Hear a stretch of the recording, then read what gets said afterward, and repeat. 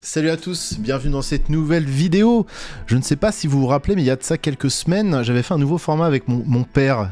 Mais je l'ai regardé ce format. l'as vu T'as Oh, bien aimé sûr. Mais grave. Et Et bah, il a l'air cool ton daron en vrai en plus. Ben, J'ai la chance d'avoir un daron musicien déjà. Mais Oui. toi aussi t'es musicien. Je suis musicien. Ouais, je suis musicien amateur, Tu disons. m'as fait écouter des choses quand même très, très qualitatives. Aujourd'hui, je suis avec le frérot Salman. Salut. Euh, la dernière fois que vous nous avez vus ensemble sur YouTube, c'était il y a un petit moment maintenant, parce que tu m'avais invité pour ton émission Dans le Tempo. Absolument dans le podcast. Exactement, et d'ailleurs nous sommes dans les locaux euh, de ce podcast, Oui. à la bouclette, magnifique endroit, merci à vous d'ailleurs pour l'invitation, parce qu'il Oui. est très bien reçu. Euh, bon, on a eu des petits couacs techniques, Non, pas du tout. C'est vrai qu'on n'est pas un geste son, mais heureusement on a eu le- les coups de main de, de la bouclette, donc C'est vrai, on s'en c'est est vrai. sorti. c'est peut-être pour ça d'ailleurs qu'aujourd'hui exceptionnellement sur la chaîne de Maxwell vous avez un son à peu près potable, On espère. ce qui n'est pas le cas d'habitude. Le son de gauche. Le son, voilà, non, d'habitude c'est le son de gauche chez Maxwell. Là, on a un son un peu plus qualitatif, on essaie de pas faire les punks. En même temps, c'est vrai qu'on est dans un endroit où travaillent des ingé sons, donc bon, faut un Est-ce peu. qu'on doit tenir un discours de droite si on a un son de droite?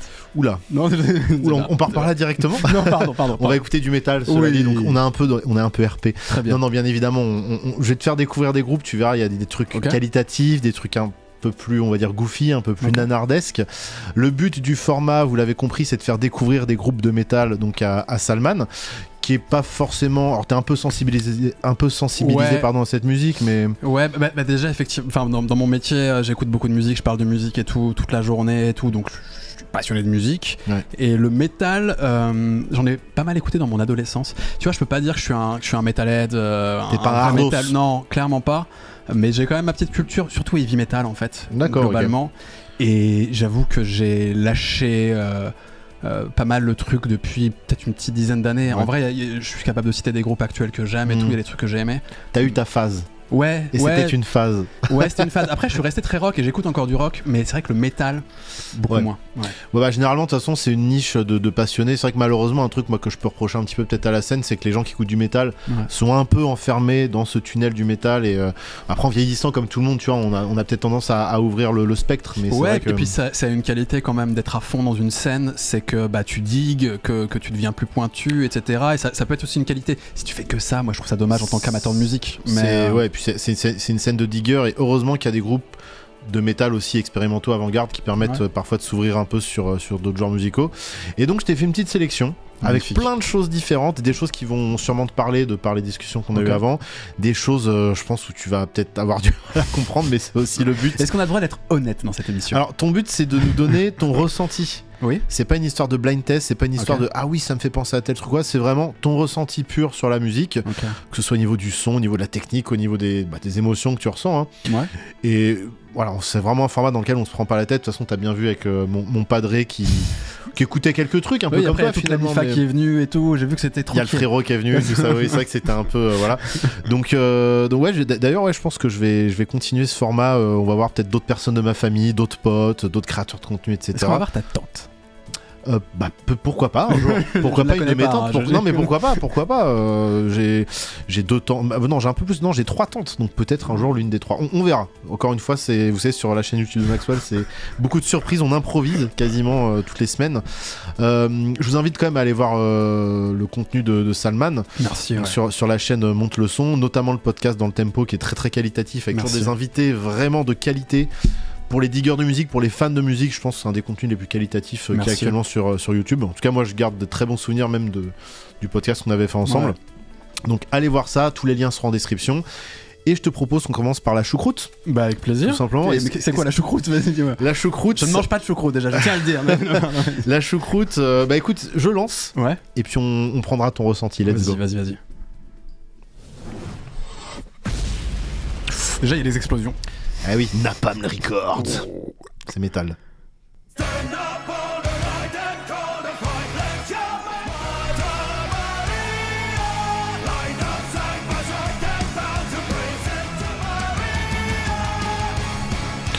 Évidemment, n'hésite pas, dès que Ouais. tu veux couper, spacebar, Je, je peux, je peux couper, ok. y a pas de souci, c'est on fait à ton rythme. Je, je... Déjà la DA est La particulière. DA est particulière. Non, en vrai, euh, déjà, j'ai l'impression d'avoir entendu 3000 fois ce son, pour t'avouer. Euh, et, et au niveau de, de esthétique, visuel, Euh, J'ai pas l'impression que ce soit d'une originalité folle. Après, les mecs ont pas l'air de se prendre au sérieux quand même. Je sais pas si je dis une bêtise. Il y a un petit côté théâtre euh, Absolument. burlesque, on va dire. Tout à fait. C'est un Que- petit peu grotesque. Quoi. ce que j'apprécie, et tu sais quoi, je dirais même qu'il y a des genres musicaux euh, où on manque globalement d'humour. Et euh, je sais pas si c'est le cas dans le métal, je connais pas assez, mais je sais en tout cas que par contre, il y a à, à l'inverse de l'autodérision dans le métal, on la voit régulièrement aussi. Oui. Et, euh, et ça, c'est cool. Peut-être que tu vois, d'autres genres devraient s'inspirer parfois de. Ouais, alors c'est vrai. Alors effectivement, quand tu dis que c'est un truc, t'as l'impression d'avoir entendu 10 000 fois. En gros, dans la scène power metal actuelle, on va dire euh, post année 2000, Ouais. t'as euh, deux énormes groupes qui sont Powerwolf et Sabaton. Ah, les... Tu sais que je les ai vus en live, Sabaton. À ouais. quelle occasion Je les ai vus parce qu'il y avait eu le download à Paris. Ah oui, tu vrai. sais, sur quelques, quelques saisons, je crois qu'il y a eu trois, trois Ouais, festivals, un truc comme ça, deux ou trois. Et, euh, et j'ai eu la chance l'hippodrome de Longchamp. La Exactement. dernière édition, il me semble. Ouais, mais je me souviens qu'ils avaient tenté en France le truc. Ouais. Et il y avait Sabaton et, euh, et je comprenais pas ce groupe. C'est-à-dire que je- reconnaissais que le mec courait beaucoup et tout. C'était assez impressionnant. Il y c'était un avait du athlète. sport. Il y avait du sport. Ah ouais, c'était les. JO, tu vois. Et, euh, et pour ça, je lui reconnais des qualités. En, en vrai, tu vois, pour, pour du live, c'était cool. Tu vois, il y avait de l'énergie et tout. C'est ce que j'attends d'un live. Musicalement, ça ne m'a pas touché du tout. Alors en fait, c'est ça, c'est qu'il y a le côté hymne. Pour- Ouais. Que ce soit pour Power. Alors Powerwolf, c'est un peu la version peut-être un peu plus dans l'esthétique goth. Alors, musicalement, c'est pas du goth, mais tu vois, cette, cette esthétique un petit peu euh, cimetière, euh, tu vois, un petit peu ghoul, euh, cathédrale, etc. Euh, moi, effectivement, ça me parle pas du tout. Je trouve ça un, un petit peu, un petit peu risible. Voilà, après, c'est mes goûts. hein. J'aime les trucs un peu plus, euh, un peu plus fins. Ouais. Mais c'est vrai que par contre, au niveau des, des patterns rythmiques, au niveau des mélodies, tout se ressemble. Le but, c'est de faire des hymnes de stade un peu. Ouais, tu ce vois. que- mais ce que je respecte fondamentalement, parce que si l'idée c'est de communier en live et tout, c'est cool, tu vois. C'est un peu C'est ça le juste, but. ouais. jamais je, je mettrais le, le CD à la maison, tu vois. C'est un peu pareil. Alors, une fois de temps en temps avec les potes pour rigoler, tu te mets un ou deux morceaux parce que les paroles, tu les apprends en un refrain. T'é- T'écoutes une fois le refrain, tu connais les paroles par cœur. Il y a un truc très entraînant comme. Mais tu vois, ça fait du 30 millions de vues quand même dans le métal. Ouais, c'est rare d'avoir des so- pour du métal, c'est monstrueux. hein. Donc, Mais, euh, tu, sais, ça me fait un peu penser pour le côté théâtral. Alors, je vais faire l'horrible normie, tu vois, ou qui, qui connaît pas extrêmement bien et tout. Mais un, un des rares trucs que j'ai un peu poncé, d'ailleurs, je les avais vus au download, c'était Ghost. Oui. Euh, qui en, plus, qui en plus, je sais, qui fait un peu polémique, parce que c'est presque un groupe de pop, à la fois métal, etc. Ouais, bien sûr. Le, type est particulier, je C'est sais qu'il est- ouais. c'est un mélange entre ABBA et euh, King. Diamond. Et, il est euh, suédois d'ailleurs, si je dis pas de bêtises. Oui, le bien mec, sûr, euh, ouais. Et euh, et il y a ce côté euh, théâtral, euh, toute cette esthétique est utilisée à fond. Je t'avoue d'ailleurs, j'avais pris une claque en live avec Ben moi, Ghost. Ghost, je trouve ça Oh. mieux fait que Powerwolf par exemple. Si, on reprend ce genre d'esthétique un, un petit peu Ouais. Halloween, on va Ouais. dire, je trouve que Ghost gère beaucoup mieux Ah bah, son- sa, sa DA Mais globale. avec peut-être moins d'autodérision que Powerwolf, C'est sûr. Ouais, mais alors Powerwolf, le truc, c'est que justement, il y a ce truc un peu. euh, On sait pas si vraiment. ah, déjà, on sait pas. Vraiment, pour le coup, on sait pas vraiment. Je t'avoue que c'est un groupe qui m'intéresse pas tant que ça. C'était justement pour ouvrir ce genre de débat que je te l'ai mis euh, d'entrée. Mm. Mais, mais au moins, Ghost, tu vois, l'esthétique, elle est jusqu'au boutiste. Il Ouais. y a un peu de mystère autour du groupe. Moi, quand j'écoute du métal, j'aime bien qu'il y ait un petit peu ce feu, tu vois, ce truc un peu. Même si aujourd'hui, euh, Ghost est devenu mainstream et Ouais. que ça remplit peut-être pas des stades, mais au moins des zéniths, tu vois. Mm. Euh, je préfère Ghost dans la façon d'aborder l'imagerie. Et, et puis moi, ce qui, me, ce qui me parle dans Ghost, que je retrouve pas là forcément, c'est qu'il y a un côté euh, heavy, voire hard rock, un peu presque à l'ancienne sur certains morceaux de Bien Ghost. sûr. Et ouais. ce à quoi je suis très sensible. Bloch en fait. À fond. Ouais, grave. ça, ouais, ce, ce genre de délire. Mm. Et, euh, et puis, euh, puis c'est bien composé globalement Ghost, je trouve aussi. Ça reste, Euh, moi, moi, je- le premier album pour moi c'est c'est un, un- un indétrônable, je le trouve incroyable. Le deuxième cool, j'ai un peu lâché par la suite, peut-être justement parce qu'on perdait un peu ce côté hard rock heavy Ouais. pour aller plus vers des trucs beaucoup plus pop. Mais moi je reconnais quand même qu'il y a du talent, il y a une volonté de proposer une vraie DA originale. Ça on peut pas leur, leur retirer. Et tu vois, paradoxalement, en fait, ce que, fait, je pourrais le reprocher, euh, reprocher aussi à Ghost, mais là, je le vois tout de suite avec Powerwolf, c'est en ayant un peu lâché, entre guillemets, euh, l'écoute métal, sans avoir été non plus un, un grand digger, hein, mais quand même en avoir écouté pas mal, Ouais. euh, j'ai le sentiment qu'il y a un truc de dans, ce, dans ce- cette esthétique musicale de manque de renouvellement du mais je parle vraiment visuellement même Mm. tout simplement d'adapter parce que tu vois je, je vois des, des scènes que j'aime beaucoup comme la musique électronique ou le rap que Mm. j'en écoute plus en fait aujourd'hui que du rock même pour être honnête Euh, je vois comment ils arrivent à l'ère d'internet tu vois ces gosses qui ont grandi avec tous les genres musicaux Ouais. à prendre de- l'esthétique un peu partout Mais, et, ouais, et- et y compris d'ailleurs du métal et du rock ouais, et, et en fait, ça donne une richesse qui me parle complètement parce que je suis aussi le fruit en fait, tu vois, de ce mélange. Et quand je vois un Powerwolf, alors ça existe certainement dans le métal, et en vrai, j'en ai même quelques-uns en tête. Tu, tu vois, genre, j'ai digué à fond Aurore. Je sais pas si tu vois Aurore. Oui, oui, parce qu'il y a- qui est un peu entre qui- le qui- ouais, hardcore, Voilà, c'est de la qui est- musique trash. qui ouais, est pas pur métal, bien entendu, Mm. mais qui a des inspirations multiples. Ça va du hip-hop, au Exactement. hardcore, au métal vénère, des fois un peu d'électro aussi. Exact. Et ça, tu vois, c'est les trucs qui vont me parler aujourd'hui. Ouais. Et quand on est dans un truc un peu plus puriste, entre guillemets, euh, je vais aimer sur un single éventuellement, enfin, tu vois, sur un tube, où je vais me dire putain, ça fait du bien, Ouais, ce ouais. que j'ai vécu avec Ghost par exemple. De là à être excité, entre guillemets, par le groupe, hormis si c'est un groupe de live comme je pense les Ghost. Alors, je vais, en fait, je suis totalement d'accord. J'ai rien d'autre à rajouter, à part effectivement euh, par rapport aux clips. Tu vois, c'est vrai que moi j'ai un format sur Twitch où on react à des clips et à des morceaux de métal. Ouais. Et c'est pas que métal d'ailleurs, parce que les gens peuvent, peuvent envoyer ce qu'ils veulent. Et tu vois la différence entre les clips de rap aujourd'hui et les clips de Ouais. métal. Le métal est à la traîne à tous les niveaux. Sur le plan technique, sur le plan de l'imagination, sur le plan de comment renouveler son esthétique. Et c'est vrai que parfois j'ai l'impression que ce délire un peu puriste du métal, Mhm. qui, qui est, qui des fois est justifié quand c'est bien fait, mais des fois c'est juste euh, bêtement idéologique et ça Ouais. n'apporte pas grand chose. et ben ça peut ralentir, je trouve justement le, le- le- le côté euh, euh, nouveauté. Quoi. Après, si je veux être. euh, parce que tu vois, je connais pas assez, mais euh, mine de rien, euh, pour faire de la belle vidéo, voir une DA travailler de manière générale, mais particulièrement dans l'audiovisuel, il faut des moyens, il faut de l'argent. Euh, je sais pas si c'est une scène qui génère. Il y a forcément des restats, tu vois, j'imagine qu'un sûr, Gojira, ouais. un Gojira, ils sont capables de sortir des beaux clips, et il me semble d'ailleurs Ils le font, ils le font, ouais, ouais, ils Euh, font partie des rares qui ont des, qui ont des belles esthétiques Et, dans leurs clips. ouais. et c'est pour ça que je veux pas juste mettre, tu vois, le truc genre, euh, vas-y, c'est les gars qui ont pas de goût. Peut-être aussi qu'il y a une question du- d'une économie peut-être un peu moins lucrative. Enfin, tu vois, c'est un peu moins lucratif, c'est un peu plus compliqué aujourd'hui. On s'était déjà posé la question, et c'est vrai qu'on forcément dans le métal qui reste quand même plus niche que le rap, Mhm. forcément il y a moins d'auditeurs, euh, il y a moins d'argent. Mais le problème c'est que les, tu vois, Nap- tu as dit ouais l'explosion la Napalm Records, Ouais. c'est-à-dire que CDA explosion machin, il y a aussi Nuclear Blast qui l'a, il y a Ouais. Napalm Records, il y a Atomic, je sais pas quoi là, je crois que c'est le patron Nuclear Blast qui a ouvert ce truc là. En fait, au bout d'un moment, eux, c'est des gens qui ont de la thune, tu vois. Ils ont la Eux, thune y a et de pas le goût, quoi. Dans 30 millions de vues, tu vois, quand même. Ouais. Et derrière ça, euh, Sabaton euh, au- au- en Suède, ça remplit des stades. Pour le coup, ça remplit vraiment des stades. Ils ont leur propre festival, machin. Donc l'oseille, il est là. Effectivement, c'est le goût qui manque, Et, clairement quoi. et- parce que tu- on parle de Sabaton, euh, ça se trouve je vais dire une connerie, mais ils sont pas eux hein, dans un délire un peu de ces historiques qui racontent des trucs Oui. et tout, des batailles, je sais Ouais. pas quoi, des trucs comme ça et tout. Alors en fait, eux, à la limite, ça peut passer parce qu'il y a ce délire un peu, un peu Michael Bay, euh, fond Ouais. vert, machin. Ah, C'est à la limite, bon, si t'aimes ces délires, euh, surtout qu'ils le font vraiment, des- euh, ils, ils prennent le côté historique du truc. Il y a pas Ouais. De revendication de quoi que ce soit. Donc tu te prends le truc un peu comme un film hollywoodien à la con. Mais bon, c'est si c'est ça mais tous leurs aujourd'hui. morceaux sont là-dedans ou pas? Ouais, sont- tous, sans exception. Tu vois, mais peut-être que je suis, peut-être que j'abuse, mais ça, je trouve que ça dénote de quelque chose quand même, d'un rapport au passé, y compris peut-être dans le rare en fait, tu vois. euh, Enfin, pourquoi avoir choisi cet angle entre guillemets de dire on va parler de trucs historiques et anciens et tout? C'est bonhomme. C'est bonhomme. C'est bizarre, mon gars. En vrai, moi, je trouve ça trop bizarre. C'est-à-dire que, quelle que soit l'esthétique musicale, t'as un groupe qui dit j'ai envie de faire là un album concept ou des morceaux, Ouais, on s'inscrit, tu vois, dans, dans un truc comme ça, voire une tradition où on rappelle Mm. un truc qu'on aimait beaucoup et tout. Génial.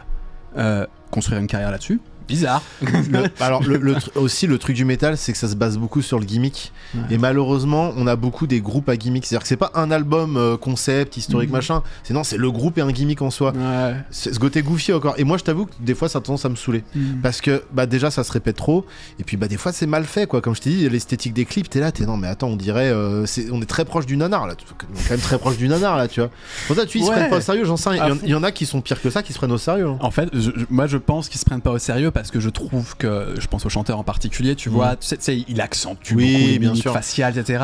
Le- leur maquillage est clairement aussi outrancier, etc. Enfin, je, je pense quand même que c'est, ils sont pas, ils se disent pas juste, ouais, on a la classe. Non, non, vas-y, on rigole avec des codes aussi. t'as aussi l'héritage du choc rock qui est de euh, voilà, côté chauve-souris toile d'araignée hein, Ouais. bien évidemment.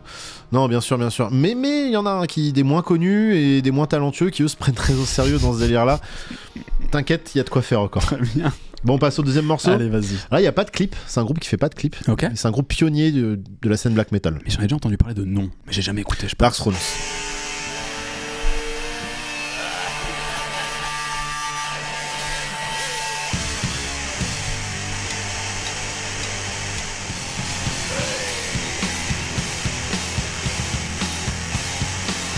En vrai, je coupe là, mais j'aime bien le son crado. Ah ouais, bah là c'est le vrai son raw mais Ouais. bien fait. Ouais, j'aime bien ça. Fait avec les moyens de l'époque, ils arrivent à en faire quelque chose, tu vois. Vas-y, je continue.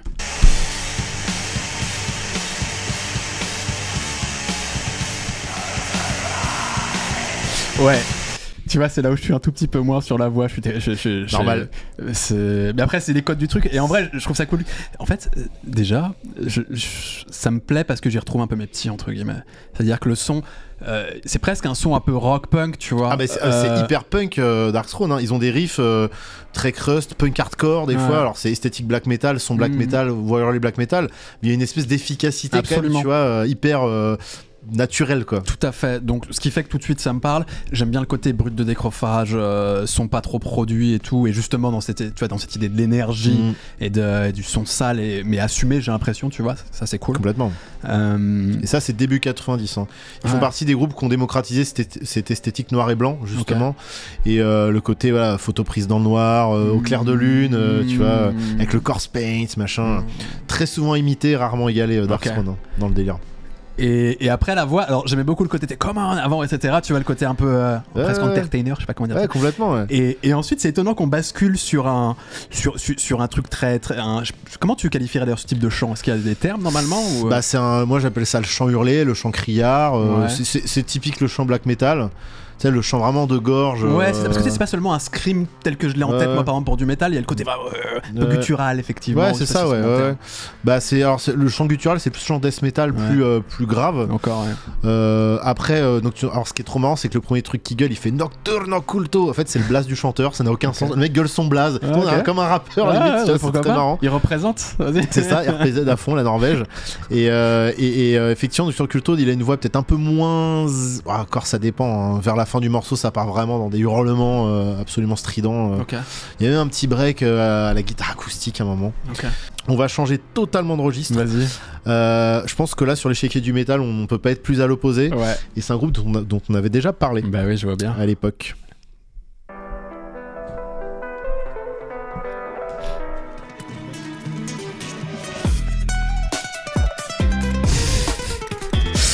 non, pardon, je mais ils me font délirer parce qu'ils sont dans une era là, un moment, euh, Polyphia. Tu sais, ils sont mis. Bah, tu sais quoi, on va reprendre des guitares euh, euh, électroacoustiques, puis on va avoir un son un peu, un peu espagnol. Tu vois, ils me font délirer, ce qui n'était pas le cas du tout avant. Et- Ouais. Mais en vrai, c'est une petite touche intéressante comme. comme Euh, moi, j'adore. moi, j'adore, ouais. On en reparle après.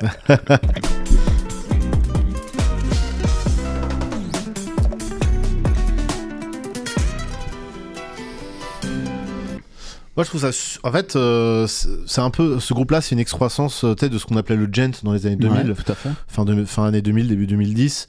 Euh, je trouve ça bien, justement, que le métal euh, soit suffisamment transformé pour qu'on puisse atteindre bah, ce, ce genre de groupe. Mm. Ou en fait, enfin en vrai, est-ce qu'il reste du métal là-dedans Tu vois, t'as l'électroacoustique, t'as des, t'as une espèce de beat très électronique.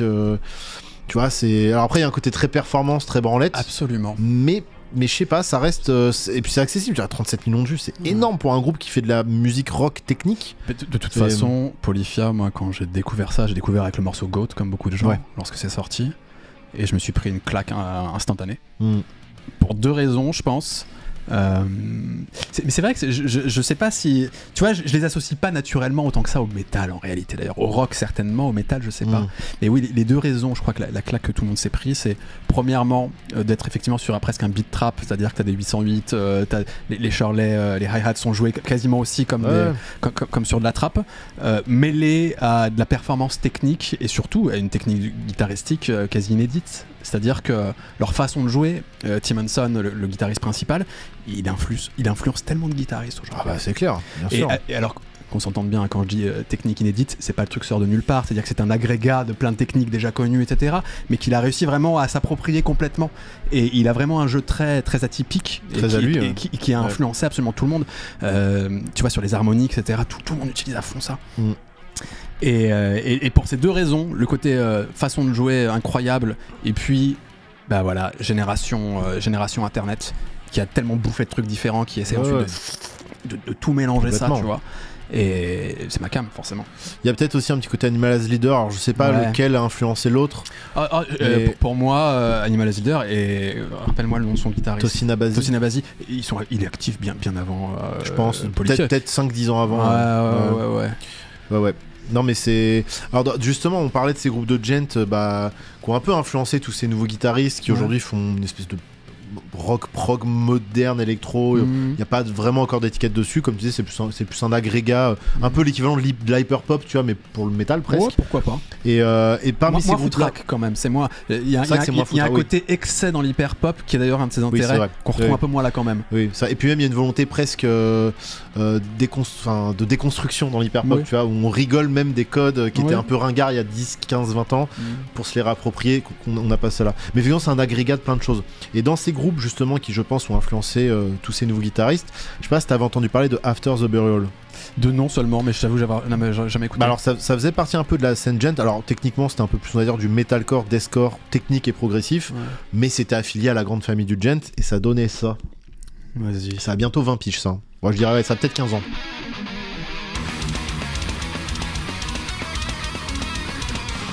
Ouais. T'arrête tout de suite, je vais être terrible, hein, mais euh, déjà. euh, Trop. Ah, Non, mais déjà, moi, la double caisse, déjà, c'est pas possible. ok. je, je suis ce genre de gars, tu vois. C'est terrible, mais pour moi, la musique, il y a aussi besoin d'espace, un peu de silence. Et quand la batterie, de manière générale, occupe vraiment tout l'espace sans cesse, tout le long d'un morceau, je déteste ça. Après, c'est over the top, c'est quand même affilié au death metal, tu vois. Donc, il y a un truc frontal, euh, tu vois. Et, euh, Et en encore, plus, ça sonne tout cuss. Oui, ah bah, bah, alors, y a- y a ils l'ont ils l'ont remixé depuis cet album, mais euh, justement à cause de ça. Mais euh, j'aurais dû mettre du euh, merde, j'ai le nom m'échappe. Euh, Rings of Saturn. Je sais pas si t'as je ce truc-là. C'est la même chose, tempo x2, Ok. encore plus trigué. Ah, quel enfer. Ouais, donc là, si ça ça passe pas, on oublie. Ah, non, enfin, ça je, je suis dur en disant ça passe pas, pas, pas à ce point, Non, là, mais- ça, ça, c'est encore écoutable. Mais globalement, quand la batterie. Ah bah, ça respire pas, ouais. Ça respire pas.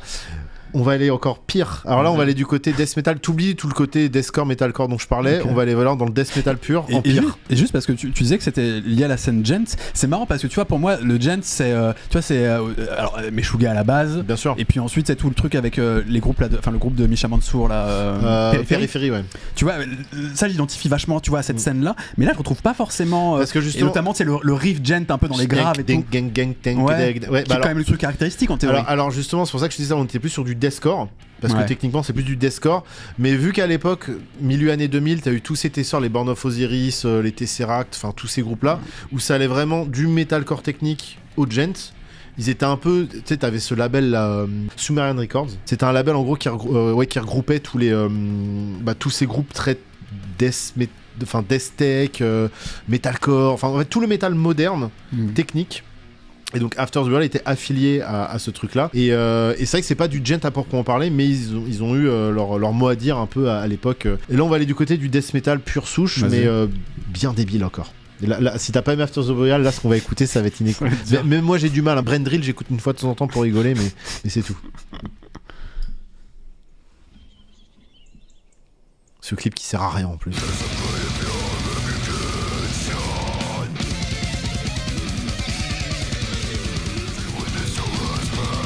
Là, j'aime bien le, le, le riff cool. Tu, tu sais quoi, je suis embêté en fait avec ce genre de truc.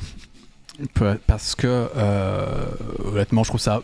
Non, j'allais dire un peu ridicule, c'est pas vrai, je suis pas aussi dur. Euh, mais c'est pas une musique qui me touche, mais tu sais quoi par contre J'ai envie de reconnaître leur radicalité, entre guillemets. Il y a de ça, Et, sûr. et- et ça, c'est un truc que je respecte en fait, parce que euh, si on s'arrête notamment à la musique mainstream, etc., il faut bien avouer que c'est extrêmement standardisé la musique de manière générale. Alors après, en fait, c'est tellement riche qu'il y, a- il y a plein de niches, etc., plein de trucs ultra intéressants tout le temps, à toutes les époques, peut-être même plus aujourd'hui qu'avant. Sûrement, oui, oui. Bah, on a- on le a- est pas convaincu. Bah, on, a les, de le- on a les genres d'avant, avec tous les trucs revival qui sont encore, enfin qui, qui perdurent, et les nouveaux trucs qui viennent se greffer à ça. Donc techniquement, on a accès à toute la musique d'avant, plus aux nouvelles choses. Donc oui, c'est c'est de plus en plus foisonnant. Moi, je suis persuadé qu'on a beaucoup de chance, euh, qu'on a une belle époque pour la musique et que, c'est ultra intéressant. Bien sûr. à la- enfin, de- suffit juste de se pencher musique. un peu. Alors après, c'est c'est vrai que le problème, et c'est un peu, je pense, nos tafs aussi, c'est peut-être d'orienter un peu les gens.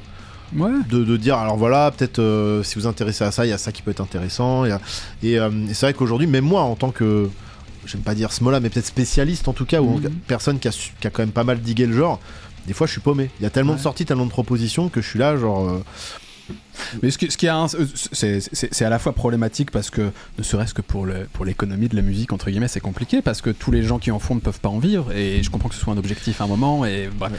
ça, ça, c'est le truc dont on parle souvent dans notre émission d'ailleurs. Ouais. J'aurais dû le gagner au passage. Dans le Euh, tempo. absolument. Mais, euh, mais oui, pour revenir à cette histoire de radicalité, c'est euh, dès qu'une scène est un peu plus niche, entre guillemets, alors t'as évidemment les groupes mainstream là-dedans, mais globalement, c'est quand même une musique qui reste, je pense, underground dans beaucoup de cas. Oui. Et donc, tu retrouves cet espace pour la radicalité. Et, euh, et je pourrais, comme je disais, je trouve ça un peu ridicule, je pourrais me moquer facilement, et en même temps, j'ai du respect en disant, on va proposer une musique dont la forme est déstabilisante. Euh, et c'est courageux d'une certaine manière. Dans tous les cas, peu importe le niveau technique des groupes, hein, euh, à un moment donné, même dans le, dans le mauvais goût, dans l'erreur, dans, tu, tu vois, dans ce genre de choses, c'est là qu'on va pouvoir aller euh, planter des graines de nouveautés. Mm. Tout à l'heure, Dark Throne, là je t'ai montré, t'as fait ouais, je, ressens l'énergie punk et Mm. tout, mais ça, quand c'est sorti dans les années 90, t'as beaucoup de, on va dire, de spécialistes de la musique ou de gens qui se disaient un peu érudits de la musique, disaient mais qu'est-ce que c'est que cette merde, c'est mal Mm. joué, c'est mal enregistré, ça n'a aucun sens, ils sont ridicules avec leur, leur Mm. corpse paint. Et bah non, il y aurait pas eu ça. Il y aurait pas eu Dark Throne, il y aurait peut-être pas autant de foisonnance aujourd'hui dans la scène black Mm. metal, il y aurait pas autant de sous-branches dans le black metal, et il y aurait pas autant de groupes intéressants. Donc parfois, même dans l'erreur et même dans le mauvais goût, même si les premiers, bah, ils, se- ils- tu vois, ils, se prennent le, le- le mur, et bah derrière, ça peut engendrer des. Cette radicalité va Mhm. engendrer des, des scènes tout entières parfois. Donc effectivement, il faut des groupes qui, qui tentent des choses. euh, Et, et- et- et là, en l'occurrence, si je reconnais ça aussi, parce que on pourrait se dire que sortir un truc inécoutable que beaucoup qualifieraient de merde, par exemple, on pourrait dire ah c'est radical, c'est intéressant. Non, c'est que là, en l'occurrence, on sent quand même une, une volonté, euh, tu vois, d'avoir un arrangement un peu original, de changer, de faire évoluer le morceau assez régulièrement. Il y a un certain niveau technique, un- ce qui prouve que les mecs ont un niveau quand même. technique indéniable. euh, donc tout ça quand même sont des éléments, tu vois, qui me font aussi juger le truc en me disant, ok, c'est pas pour moi. Mm. Euh, je comprends pas leur délire. Pour autant, intéressant de proposer ça, si ça te plaît à des gens, tant mieux, tu vois. Mais Après, euh, effectivement, faire attention aux scammers qui vont faire de la merde et dire non, non, mais justement, moi je suis radical Non, dans ma proposition. Dans le black metal, t'as souvent ça. C'est ça que le black metal est capable du pire comme le meilleur à ce niveau-là. Hmm. C'est que t'as un mec dans sa chambre qui va s'enregistrer avec son téléphone et faire de la merde. Et dire non, mais si je fais ça, c'est parce que je suis un punk. Non, c'est juste que t'as la flemme ou t'as pas envie ou que voilà, ne nous fait pas croire que derrière il y a un vrai message ou un vrai truc. Surtout que ça a déjà été fait, ça a déjà été fait euh, beaucoup de fois avant toi, quoi. Hmm. On va rester dans la musique euh, Vas-y. technique, mais cette fois un truc que moi j'ai trouvé vraiment cool. C'est Sarah Longfield, donc elle pareil c'est une héritière de toute la scène euh, euh, tech, gent, etc. Mais elle apporte un truc vraiment vraiment frais. J'ai adoré l'album. Bah tu vas me dire ce que t'en penses. Vas-y, je connais pas du tout. Et puis en plus c'est toujours cool d'avoir des meufs dans cette scène-là parce que c'est assez rare, tu vois. Et elle, elle fait tout en autodidacte toute seule.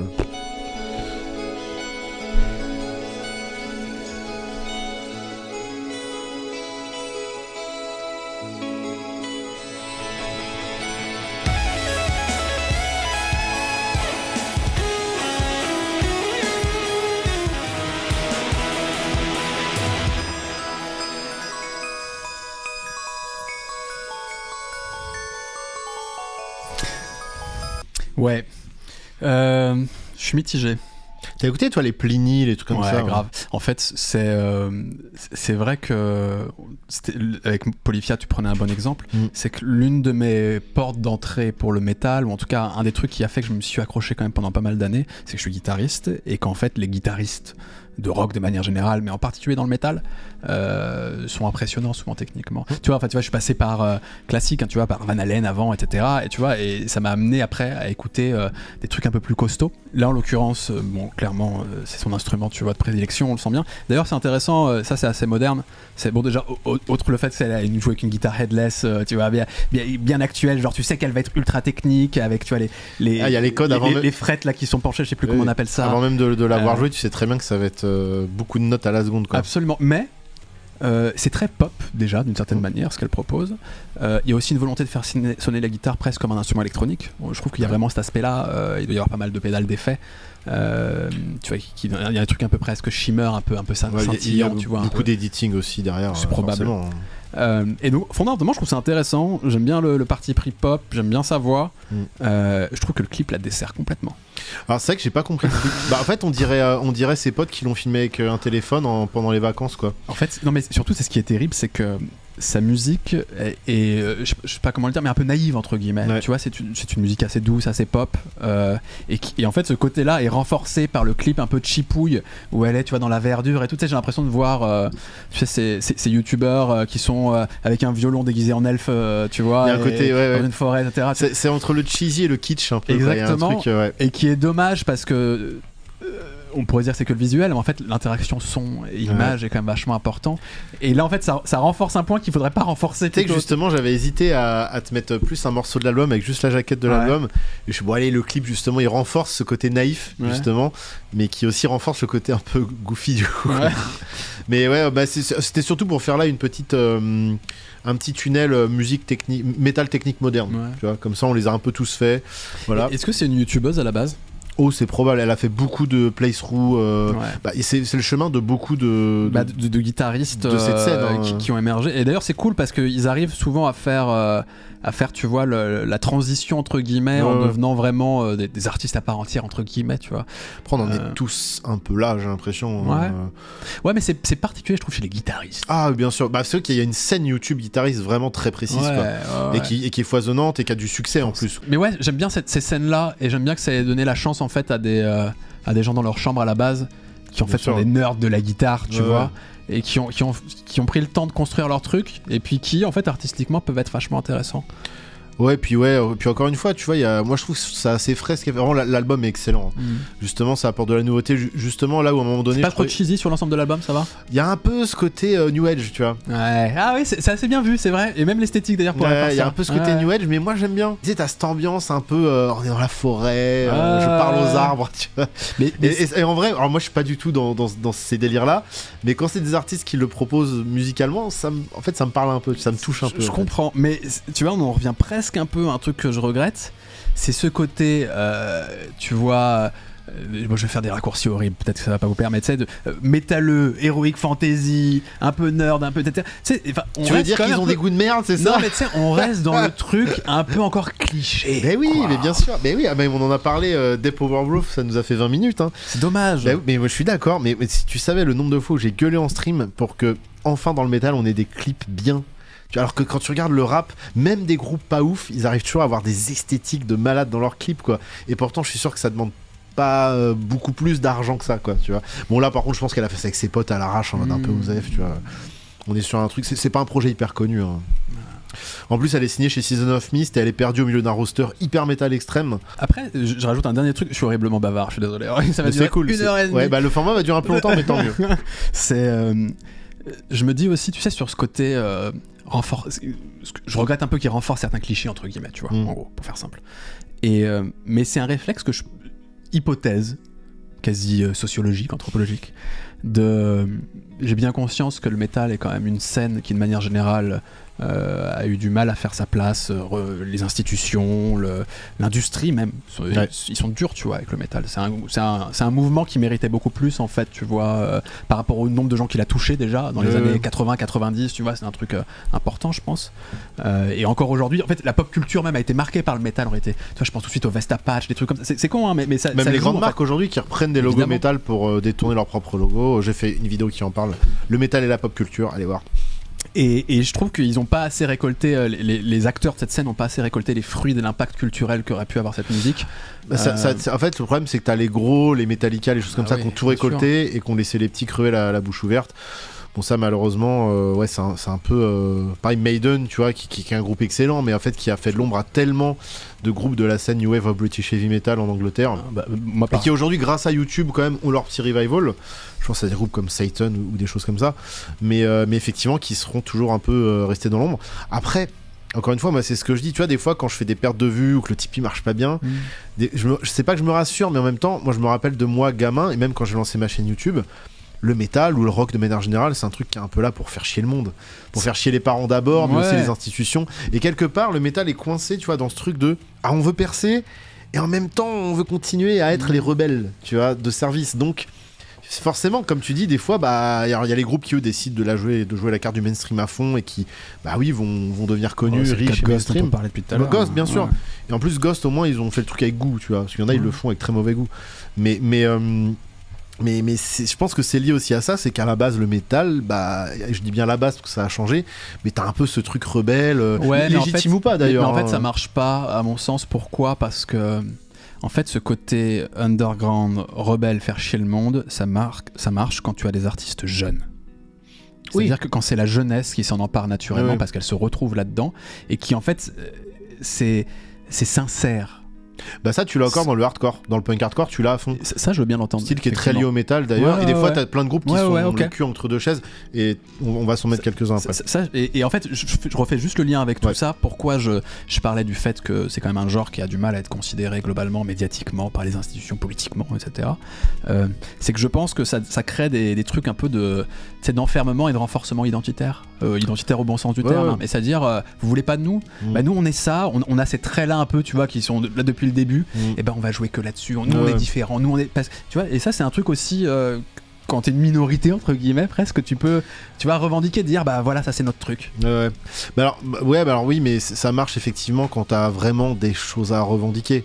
Ah bah c'est mieux Politiquement, effectivement. tu Bah vois. là a encore plus de sens bien entendu. Parce que, parce que le métal, malheureusement, bon. euh, pff, tu vois, est-ce que c'est c'est pas euh, les gens qui écoutent du métal? Alors, c'est non mais c'est pour qui ça s- que ça marchait avec le punk hardcore dont t'as parlé par contre. À l'inverse tu vois. Et là ça fait sens. Les jeunes s'en emparent parce qu'aussi ils disent quelque chose de leur monde tu vois. C'est ça. Et puis il y a une vraie énergie jeune, les groupes split assez tôt, euh, il y a un vrai renouvellement de la scène, il y a un peu plus de, de take politique, que ce soit prise de parole sur scène ou même dans les lyrics tout simplement. Donc euh, là, là ça marche mieux. Le métal, comme tu le dis, moi, enfin ça boucle avec ce qu'on disait au début, c'est un peu un monde de nerds fans d'Heroic Fantasy. Pas que, pas que, mais, horrible, mais- mais, a un- mais non, mais Ouais, faut ouais, l'assumer je l'ai aussi. ouais, faut ouais. l'assumer et c'est quand tu assumes ce truc et que, et tu maîtrises ces codes et que tu les connais que tu peux les transcender ensuite. Mm. Donc faut les assumer. Et euh, moi c'est pas pour rien si je suis aussi fan de ces univers, tu vois. Oula, il y a un déménagement on a, on a là. les amis de la bouglette à côté Il qui y a un déménagement et c'est en train de tout casser. Tout le monde est raide à chier, ça part en couille. Vous êtes resté 20 minutes là-haut mais vous avez vous avez pris de l'avance. On arrive, on arrive. Attendez-nous. Bon, alors là, on va, on va changer totalement euh, d'univers, totalement. On parlait de ces groupes euh, justement qui des fois revendiquent le côté euh, lo-fi, underground, machin, mais parce qu'ils peuvent rien proposer d'autre, parce qu'en fait ils sont mauvais. Oui. Et alors là, mon gars. Ils sont mauvais. Alors on pourra pas leur reprocher leur, euh, leur manque d'originalité, Ouais. parce que là on est sur un truc. euh, Vas-y. Tu vas prendre cher visuellement. Echoes, et je connais pas. Oh En vrai, j'aime bien un peu. Hein. Attends de voir la suite. Alors, juste, je replace le contexte. C'est un père et son fils. Ils sont brésiliens. Ok. Les deux sont nazis. Ah non, ça, ça m'embête plus. et. Fallait me le dire avant. Attends, attends, attends, attends, attends. Euh, quand ils disent God were astronauts, ils sont totalement dans le délire conspirationniste. Ils y croient à mort. Mais tu sais, c'est trop, Ils y trop croient con parce que l'esthétique est intéressante en l'occurrence. Là, du, du, du, du, du clip, tu vois. Ah, là, tu. non, alors, attends, on, met le clip. On met le clip. Mais, je pensais ça avant qu'ils me disent que c'est des nazis. Ils sont, non, mais ils sont ridicules. Mais je pense même pas qu'ils conscientisent le truc. En fait, ils, ils- ils ont l'air de deux idiots quand même. Et, et je sais même pas s'ils conscientisent vraiment le truc, ou même si c'est du premier degré ou pas. Regarde le clip, ça va en dire long sur le, sur le bordel que ça doit être dans leur tête.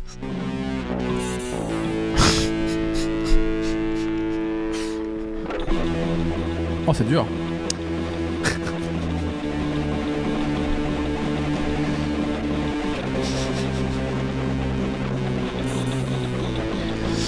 Ils passent leur temps aussi à clasher euh, les autres groupes de black metal. D'accord. C'est-à-dire qu'ils insultent, euh, je sais pas, les Gorgoros, les, les Dark avec- à base d'insultes homophobes, etc. Ouais, Enfin, sympa. ça- non, mais ils sont, ils sont fous. hein.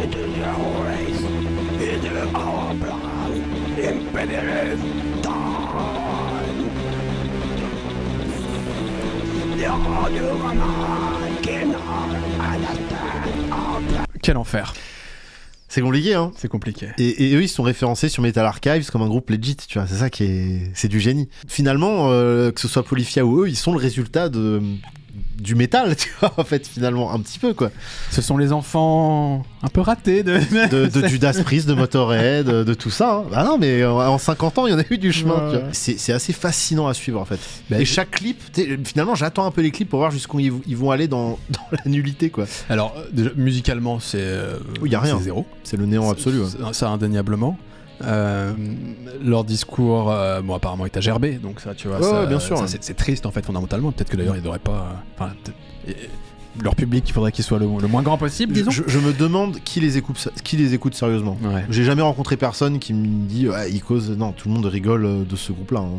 Mais par contre, je trouve sincèrement, comme je te le disais, que, que l'esthétique qu'on voit dans ce clip, euh, je trouve qu'elle fait sens euh, en mode, euh, tu vois, troll internet. Elle, elle- elle- elle- elle pourrait. Ouais, elle alors pour- elle justement, pour- si, dans un autre contexte, ça pourrait être presque cool, tu eux, vois. eux se prennent 100% au sérieux. Mais ils ont fait avec un, ils ont fait un split justement avec un... et c'est là où je me demande est-ce que c'est un canular ou pas? Parce qu'ils ont fait avec un split, ils ont fait un split avec un groupe qui lui est 100% euh, euh, ironique, second degré. Voilà, c'est- volontairement mauvais. Alors je sais pas si c'est un troll de la part de ce groupe d'avoir réussi à splitter avec eux pour dire Ah, ils sont tellement cons euh, pensent qu'on est sérieux et du coup ils ont splitté avec eux ou si eux ont conscience que c'est une blague. Après pour les avoir un petit peu euh, euh, observés sur les réseaux sociaux, euh, ils ont l'air juste méga idiots quoi. Il leur Mm. manque une, il leur manque pas mal de neurones je pense. Ouais. C'est euh, ouais, voilà. Mais c'était pour euh, te montrer que quand même des fois on a des, des choses assez fascinantes qui se passent dans la scène. Ouais, et puis euh, c'est pareil, je vais être dur, hein, mais il faut le dire avec le regard extérieur. C'est quoi ce pro- Pourquoi il y a tant de nazis dans ce putain de genre musical? Ça fait chier quand même. Il y a plein de gens pas bien dans d'autres genres, mais, mais ce truc spécifique, tu sais, cette référence-là, tu, tu- Ouais, bizarre. Ouais, mais- et surtout que parfois c'est revendiqué euh, tel quel.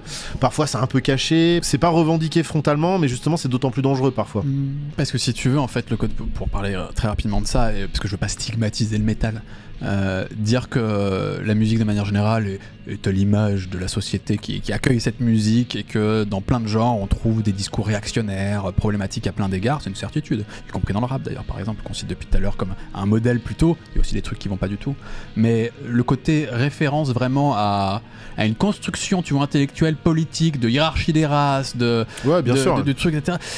Qui, qui est en plus complètement désuet, même pour les fachos un peu influents d'aujourd'hui, tu vois. Il y a un truc assez délirant. Euh, L'un des, de mes groupes de métal préférés, c'est Pantera. Ouais. Et tu vois, d'apprendre que Phil Anselmo. euh, Apparemment est borderline, c'est d'après ce que j'ai compris. Tu Parce qu'il y a eu la. mais- Non, alors en fait, il y a eu la. hum, Il y a eu, tu sais, cette fameuse histoire. Alors, on a déjà parlé plusieurs fois en live, euh, même dans des, de- dans des de rediff qu'on a fait, où en gros, euh, le mec a, a tapé un salut nazi sur scène Mm. en hurlant euh, White Power.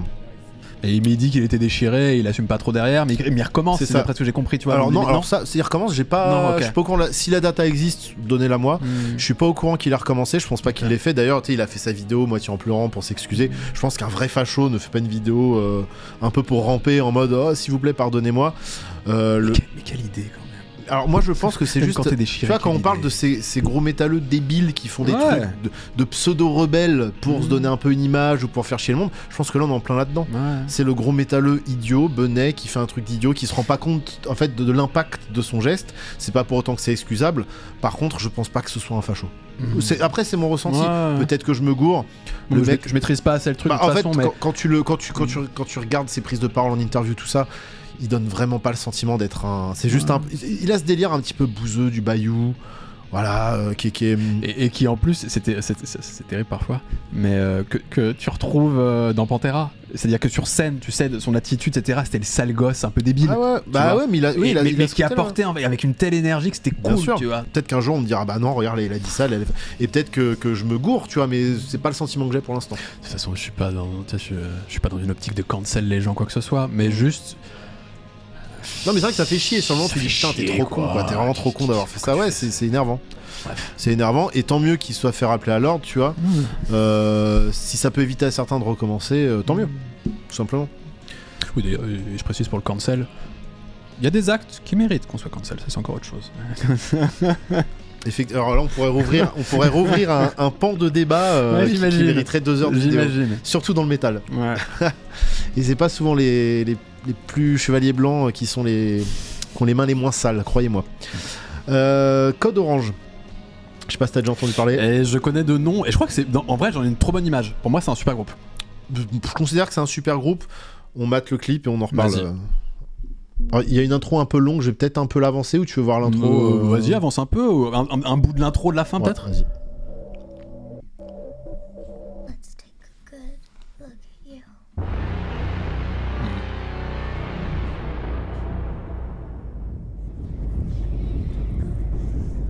Très cinématographique.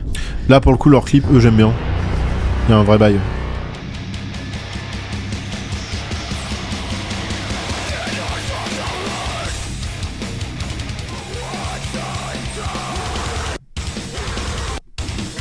Ah, vachement cool, les cops. Ouais, je kiffe, je kiffe de ouf. Mortel hein Ouais, c'est trop bien. Euh, ce que j'aime bien en fait, c'est euh, on retrouve, alors je vais faire une analogie, je sais pas si elle est parfaitement juste, mais peut-être que ça va vous permettre de comprendre un peu mon, mon délire. C'est, euh, j'y vois des, des points communs avec la musique électronique euh, dans, dans l'idée de sound design entre guillemets. Ah bah il y a un gros côté digi, euh, même avec les glitches et tout. Et- exactement, et en fait dans l'idée que, en fait on le retrouve d'ailleurs, je, je précise, enfin je, je parle de musique électronique, mais en fait toutes, presque toutes les musiques qui sont produites de manière numérique aujourd'hui, c'est-à-dire quasiment l'intégralité de la musique, Ouais. Où en fait on se dit euh, que la composition entre guillemets ne suffit plus, dans le sens où beaucoup de choses ont été faites, et que l'une des manières en tout cas de se démarquer, on peut encore se démarquer avec la composition, hein, mais que l'une des manières c'est de travailler sur euh, le timbre, les textures, les sons en eux-mêmes, entre guillemets. tu Bah, que la technologie permet d'apporter euh, comme Absolument. plus-value quoi. Absolument. Mm. Euh, certains d'ailleurs regrettent que cet aspect sound design prenne trop le dessus dans certains genres musicaux, dans certaines esthétiques, ce qui est pas faux. Euh, mais toujours est-il que c'est un outil ultra intéressant. Et j'ai l'impression, alors c'était particulièrement le cas dans l'intro, peut-être que c'est le clip, je sais pas, mais tu sais, il y a- il y, a vachement un, un son sur les effets sonores. Et même, tu vois, comment il cut, etc. Euh, Tu vois, des fois c'est c'est complètement offbeat, euh, c'est en dehors du tempo, ça Exactement. reprend sur. Et, euh, et- et qui est une volonté qu'on trouverait pas normalement dans un groupe euh, ouais, ouais. euh, rock, euh, tu vois, euh, j'allais dire organique, c'est pas le bon terme, mais tu vois, qui joue dans Et son puis garage. qui va être vois. difficile aussi de reproduire en live pour le coup. Bien entendu, bien entendu. Mais, en fait, cela dit, en live, c'est une tuerie aussi. hein. Ouais. Ouais, ouais, incroyable. Mais j'aime cette approche en fait de. Et d'ailleurs, qu'on retrouve en réalité, on parlait de Polyphia tout à l'heure, Tim Henson, etc. C'est une façon aussi de jouer de la guitare différemment aujourd'hui. Pourquoi? Parce que c'est une façon presque synthétique aussi parfois d'aborder la guitare. C'est très édité en post-prod, effectivement. Complètement. Ce qui rend après la prestation live différente. On peut pas attendre exactement la même chose. Mais, mais j'aime cette approche en fait dans des genres plus historiques entre guillemets, euh, qui viennent souvent d'ailleurs du live, de- d'êtres humains entre guillemets qui jouent dans la même pièce ensemble avec des instruments, des amplis, etc. Mais ça existe encore de toute façon. Donc, Bien y a sûr, pas de raison. euh, mais, mais de mêler les deux même. Il y a vois. mêler les deux parce que justement il y, a- il y a beaucoup de tu sais ce discours un peu réac de oui les jeunes ils écoutent plus que de la musique électronique ça n'a aucun Mhm. sens tout est numérisé alors qu'en fait là pour le coup alors moi il y a beaucoup de gens qui disent oui les IA c'est un outil non alors ça c'est un autre débat mais par Mhm, contre effectivement l'informatique de manière générale et les outils d'editing sont effectivement des outils qui permettent d'obtenir ce genre de son Non, mais surtout qui enregistre sur bande encore aujourd'hui, à part dans certaines niches rock, tu vois. non, puis- euh, et même sans pop. parler du côté bande, c'est qu'au bout d'un moment, effectivement, euh, là sur cet album, Code Orange propose un truc. euh, Enfin, c'est-à-dire qu'ils ils peaufinent une formule qu'ils avaient déjà entamée avec l'album d'avant. Ils viennent de la scène quand même punk hardcore, Mm. punk hardcore un, un peu un peu beatdown, où justement c'était de la musique peut-être un peu plus organique, moins éditée. Mais ça, ça, ça bounçait aussi, c'était incroyable. Mm. Ils peuvent se permettre de le faire justement parce qu'ils maîtrisent déjà, déjà le genre à la base Ouais. et se dire bah là on va et surtout quand eux ils sont assez fer de lance de ce revival esthétique année 2000 début Ok. année 2000 un peu néo metal tout ça Mm. donc ils en jouent aussi C'est pour ça que ça me parle, moi j'ai grandi avec ça. Bien hein. sûr, ah bah, même l'esthétique là, tu vois, euh, et, et- et d'autant plus aujourd'hui où vraiment c'est du métal de catcheur. hein, là. Mm. La, la, D- la DA récente, c'est vraiment, pardon. on dirait, on dirait euh, peut-être des intros de catcheurs, euh, mais ils l'assument, tu vois, ils assument ouais. ce, ce mauvais goût fin 90, début 2000. Ils en font ce truc là et, c'est trop bien tu vois justement et c'est aussi des références à eux c'est des mecs qui ont à peu près notre âge tu vois voire un peu plus jeunes ils font justement référence à ces trucs de, notre jeunesse euh, néo-métal euh, tu vois De toute façon, c'est un peu cliché de dire ça, mais je trouve que c'est vraiment valable. J'ai beaucoup cité l'ère internet tout à l'heure, etc. Mais où, euh, où en fait, c'est pas seulement le mélange des esthétiques, des genres musicaux, mais aussi des, des approches en fait du travail de l'audio entre guillemets, du travail du son. Et et je trouve que sans verser, sans devenir, tu vois, on parlait d'aurore tout à l'heure, c'est spécifique. Ou je pourrais pire encore, je pense à un groupe comme Igor. Je sais pas si ça te parle, ouais, bah, Igor. groupe français Igor ouais. Euh, qui est un groupe, enfin c'est un mec d'ailleurs, je crois seul en vérité. Euh, s'entourent de musiciens pour les lives et tout, mais c'est un mec qui compose tout tout seul. et, dans- dans et son absolument coin. passionnant qui pareil est dans le travail de la matière sonore et en même temps il y a des références métal aussi Mm. alors il s'inscrit presque plus quand même dans la musique électronique j'ai l'impression Ah, c'est quand même les deux. c'est les euh, deux pour toi ouais, bah, parce qu'il y a du gros blast beat à la batterie, il y a des chants grôlés, il invite le chanteur de Cannibal Corpse sur un album, donc tu vois, il y a. Ouais, mais c'est ouais, c'est entre les deux quoi. Et, et en fait, j'aime bien, tu vois, cette idée de. où je prends un, un exemple complètement différent. Dans, dans notre podcast, on a reçu il y a pas très longtemps un, un- un artiste de pop, en l'occurrence, qui s'appelle Flavien Berger, euh, et qui racontait comment il travaille, par exemple. Et lui dit évidemment qu'il utilise un ordinateur, mais il enregistre sur bande pour avoir. Mais c'est pas très original, hein, mais plein de gens le font, mais je prends cet exemple-là parce qu'il nous en a parlé directement. Il enregistre sur bande ce qu'il produit pour ensuite le renumériser et donc obtenir le grain de la bande, etc. Et, et c'est juste pour illustrer cette idée de, de croisement, de pas faire genre il y a une façon de faire opposée à l'autre, etc. Mais de dire non, justement, c'est Les deux fonctionnent ensemble. les deux fonctionnent ensemble et, et par touche ou alors en abusant complètement, on peut arriver en fait à renouveler un peu quelque chose. Bien sûr. Et, et- et c'est là où je prends plaisir en général avec la musique, tu vois. Ou alors j'écoute un truc de vieux qui est bien, bien comme ça doit être et ça me va, tu vois. Mais Et, en fait, ça, ça m'étonne pas que t'aies ce genre de discours auquel j'adhère totalement. Parce que rien que par exemple, quand on a commencé à, à monter le setup pour la vidéo, c'est vrai que toi t'es à la recherche quand même. Tu dis, ouais, mais moi je préfère écouter les sons avec un vrai bon son, machin. ah. T'es à la recherche t'as as un peu une mentalité d'un son et c'est. D'un son, non, mais en tout cas de, de musiciens qui s'intéressent à la production, Oui, c'est ça, qui, oui, c'est ça, produit ouais, aussi euh, ça. en home studio à la maison, de manière humble. hein. Mm. Mais et, et en fait, euh, puis je viens aussi un peu de l'audio pro, tu vois. J'ai bossé euh, pour un site important dans, dans, dans le domaine de l'audio pro. Je testais des, bon, des Mm. guitares et des amplis, mais je, je m'intéressais aussi à tous les autres euh, éléments, tu vois, de la chaîne du son, etc. Ouais. Et la, la production, c'est intéressant en fait. Complètement. Euh, Ah et oui, quand j'écoute un morceau, j'écoute aussi la production, tu vois. Ça, ça l'est d'autant plus quand moi tu sais je commence à faire la musique depuis assez récemment on va dire dans ma carrière de fan de musique j'ai commencé la musique assez tard. Et c'est vrai que tu te rends compte à quel point le travail d'ingénierie du son mais même pour produire un truc simple c'est des choix mais des très nombreux choix mais pre- des choix qui sont presque aussi importants que les choix de, que de la composition tu vois. Bien sûr. et, euh, et même juste, en, juste le, dans la technique pure, c'est vraiment euh, c'est un taf à part entière, c'est vraiment et c'est hyper important. Et c'est vrai qu'on se rend compte que quand on écoute euh, sur notre téléphone des MP3 euh, avec nos petits écouteurs iPh- d'iPhone à la con, on passe à côté de 50% de l'information. Alors aujourd'hui, on a quasiment tous l'habitude d'écouter cette musique comme ça et on n'a pas le choix. Et même aujourd'hui, parfois les prods s'orientent pour qu'on puisse écouter la musique comme ça et le monde est, est comme ça. Je vais pas critiquer les gens qui font ça, moi-même je le fais. Mais c'est vrai que des fois, se poser à la maison avec euh, le vinyle ou le CD sur un bon matos, et bah c'est une autre expérience. Ouais.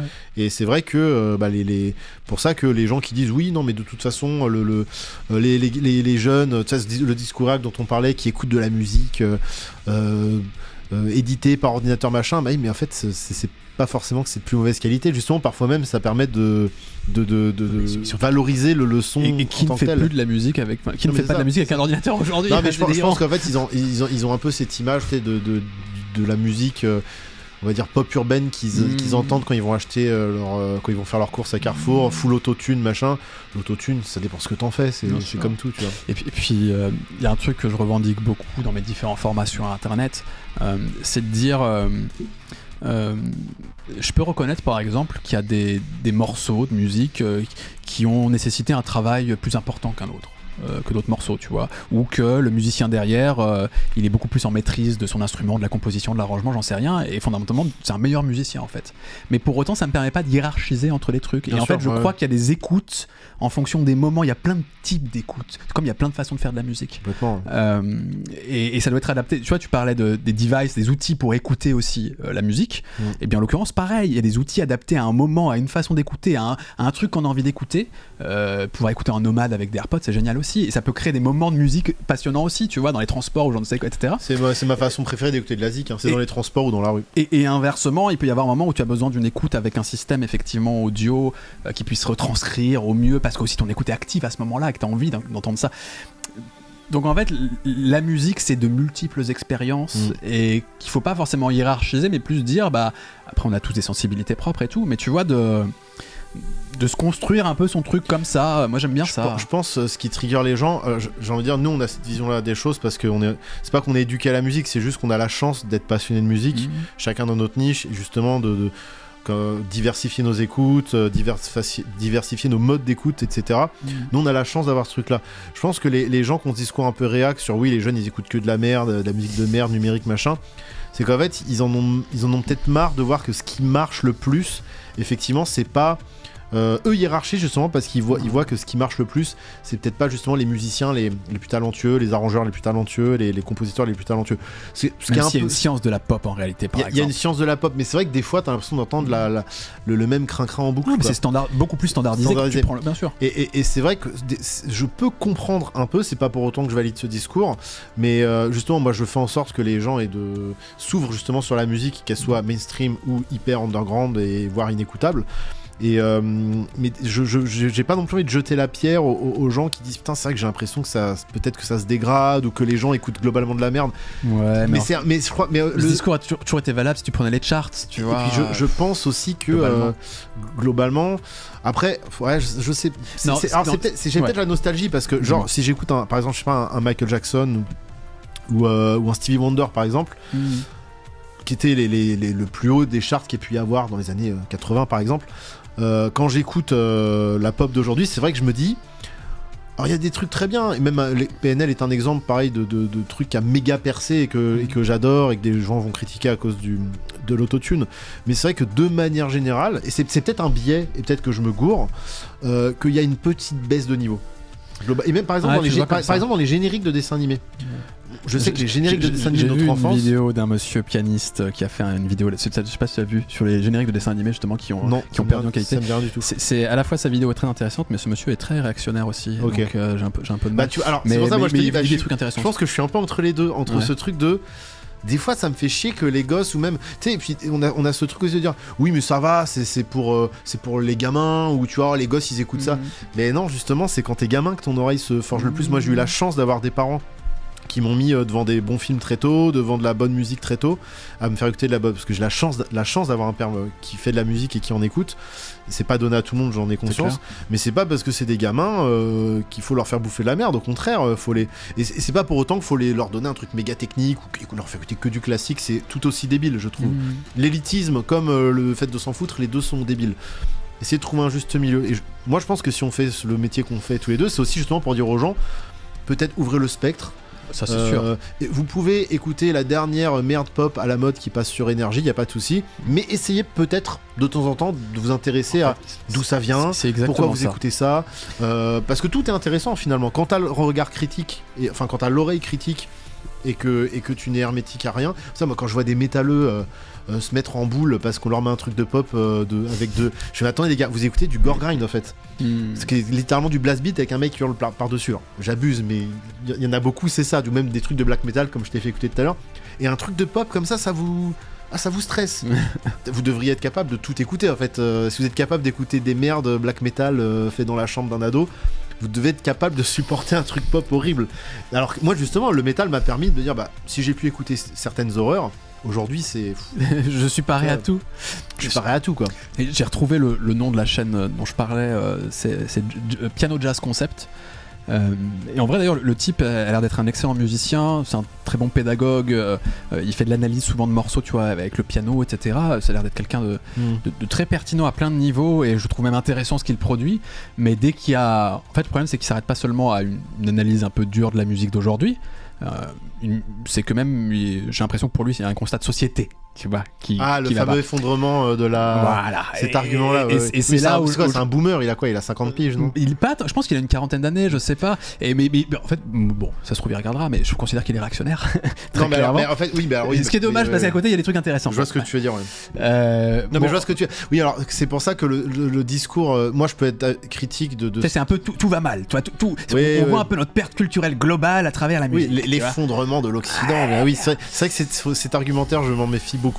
Parce qu'en fait, euh, enfin, pour moi, des fois, même si on perd en qualité quelque part, des fois on récupère en qualité ailleurs. C'est une histoire de, vase. euh, Et, surtout, en fait, sur, pour revenir à la musique, euh, je vais pas m'exprimer sur des sujets plus, plus sociaux ou politiques, mais sur, sur la musique en tant que telle, les charts sont-ils moins bons aujourd'hui qu'avant? J'en suis pas certain. Ce qu'on peut dire par contre, c'est qu'on produit beaucoup plus de musique, que le turnover est beaucoup plus important. Oui. C'est-à-dire que ça se renouvelle plus vite. Avec- exactement, avec notre façon d'écouter euh, un tube, il va passer pendant deux semaines, puis après on, doit passer à autre chose. D'ailleurs, même le modèle économique de la musique, avec les plateformes de streaming, etc., nous pousse, pousse les artistes à produire sans cesse, à renouveler sans cesse, etc. Ce qui fait qu'on produit beaucoup plus de musique, il y a beaucoup plus d'artistes en plus. Et plus on produit euh, pour les charts, plus ça fait des morceaux standardisés, plus on a l'impression d'une explosion de trucs médiocres, entre guillemets, Mhm. euh, qui se ressemblent. Ça, c'est une forme de vérité. Et je pense que l'échelle s'est amplifiée. Ça, oui. Euh, Je pense qu'il y avait quand même de belles merdes aussi avant, ou des trucs extrêmement standardisés. Bien avant. sûr, ah, pour, pour faire du React Nanar, où justement le, le but est d'envoyer les pires morceaux, parce que je fais ça avec la bonne musique, les le format dont je te parlais, mais on le fait aussi Mhm. avec la mauvaise musique. Mhm. Dans les années 60, 70, 80, il y avait des Bien horreurs euh, tout autant. C'est juste qu'elle peut-être, elle perçait peut-être moins. Elle perçait moins parce qu'aujourd'hui, tu peux n'importe qui peut uploader, euh, tu vois, même quasi gratuitement. Alors sur YouTube évidemment, mais même sur les plateformes de streaming, euh, Mm. tu prends, tu vois, un, euh, euh, un iMusician, euh, un, un DistroKid, tu vois, ces distributeurs qui sont accessibles à tout le monde. Tu- Ta, musique se retrouve sur Spotify, tu vois, Ouais. pour, pour quasiment pas un rond. Euh, et donc forcément, tu vois, ça fait, il y, a un tel truc. Oui, dans la masse, ça fait un peu peur la masse de, trucs moyens. Ouais, pardon, vas-y. Mais je termine juste, et là on se, on se ressemble beaucoup là-dessus, c'est euh, c'est pas, c'est pas un problème en tant que tel que de la musique mainstream euh, et de la musique euh, très standardisée, très formatée. Euh, je vais prendre un exemple, en plus je trouve que c'est pas la plus standardisée ou la plus formatée, mais Aya Nakamura est beaucoup dans la, Dans la tourmente. dans, dans la, voilà, dans, l'actualité aujourd'hui. En plus, en l'occurrence, elle, je trouve qu'elle a une vraie patte, et qu'on aime ou pas, elle, elle construit quand même quelque chose, tu vois.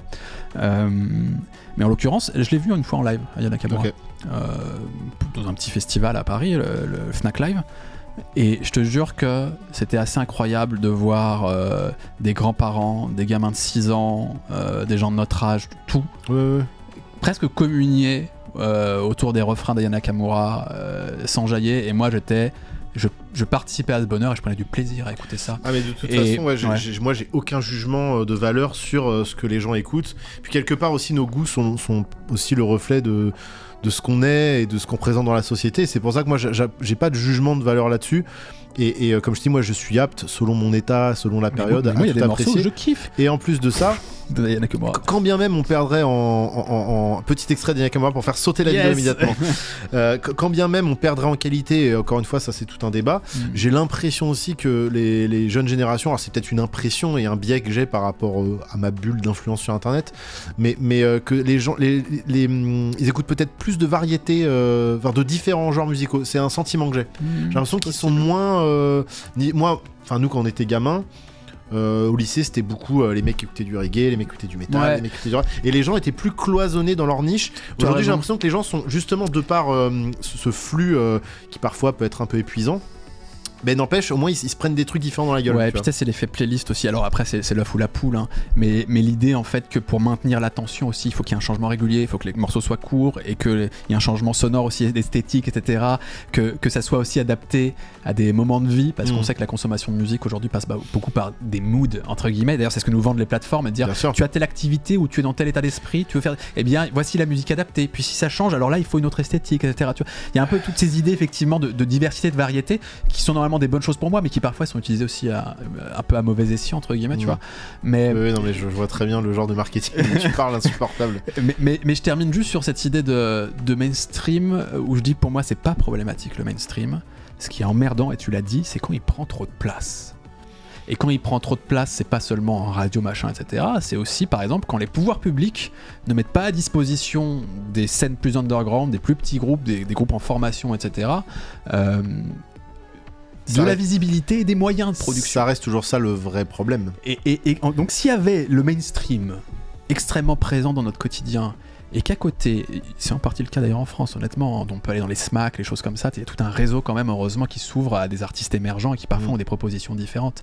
Mais globalement quand même, ils galèrent eux par rapport à l'industrie, par rapport à ce que j'ai l'argent que génère l'industrie Ouais. mainstream, tu vois, des, des majors, etc. Et en fait là, c'est pour ça que je parle des pouvoirs publics, c'est pour moi l'un des acteurs qui peut te permettre de garder cet équilibre. J'ai pas trop confiance en le marché pour être honnête. Euh, donc Ah, tu, tu n'es pas libéral. euh, Attention, parce qu'ici on est. le, le podcast qui part en couille. On pourra Ah en bon, discuter. euh, mais euh, et et là, il- il- on doit faire attention à permettre à des propositions musicales différentes et radicales de survivre. Parce que sinon, le mainstream, il va, il va tout bouffer, on le sait. Donc c'est plus là, en fait, où il faut faire attention. Mais en tant que tel, l'existence du mainstream et que globalement, c'est dans son nom, il soit présent dans, dans le quotidien de beaucoup plus de gens, c'est pas grave. Et puis c'est à nous de faire le taf.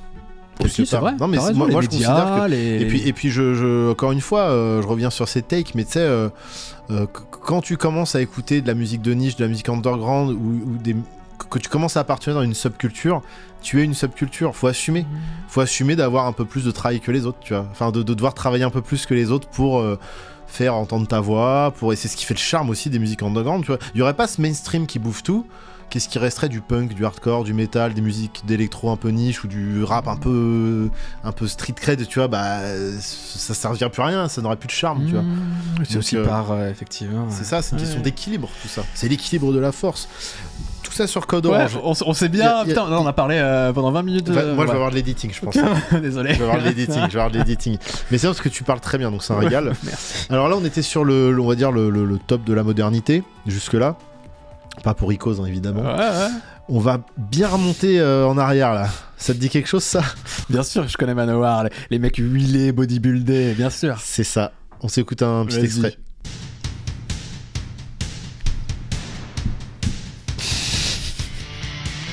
T'es prêt à bagarrer le monde, Salman? Non mais. Je t'en parle après.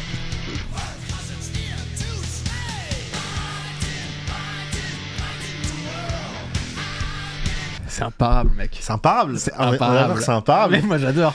En fait, leur- leur- leur- toute leur esthétique est absolument ridicule. Alors j'ai ramené un slip en cuir. C'est vrai, Et la magnifique. deuxième partie de ce podcast va parler de sais, J'ai un podcast. Et moi j'ai ramené je l'huile. Ouais. Et bah voilà. Yeah.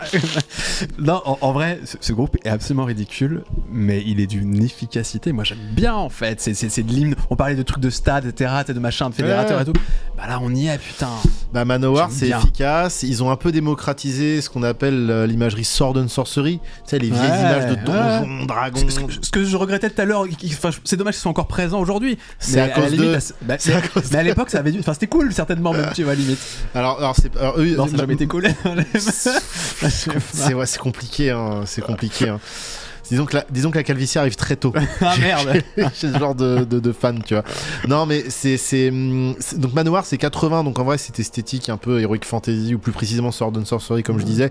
C'est c'est avant Manowar, mais c'est vrai que eux ont totalement démocratisé ce truc, parce qu'en fait, ils l'ont fait de manière tellement décomplexée.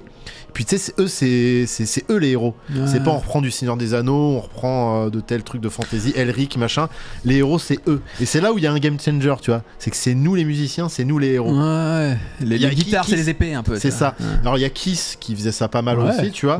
Mais dans le délire vraiment metal, c'est Manowar qui a dit, euh, qui est arrivé avec les Balls of Steel et qu'on fait. Pa- allez, parce que c'est, ce que tu serais capable de dire, c'est quelle année la formation de Manowar Enfin, où ça commence en tout 80, cas- c'est 80, la 80. formation de Manowar. Parce que tu vois, je pensais à- dans l'esthétique un peu fantasy et tout, je pensais à un Ronnie James Dio qui a pas mal fait ça aussi. Et- Oui, complètement. Bah Dio aussi, hein. Dio aussi qui a, sauf qu'il l'a fait avec un peu plus de goût quand même. Ouais, ça dépend. Ça dépend des Mais donc le Putain, mec fait, Mac, mo- le- donc le mec fait Ouais, moins, fait moins connard. Peut-être Dio, il, Ah, ça, il a- c'est possible. il a, il a une tête de sympa.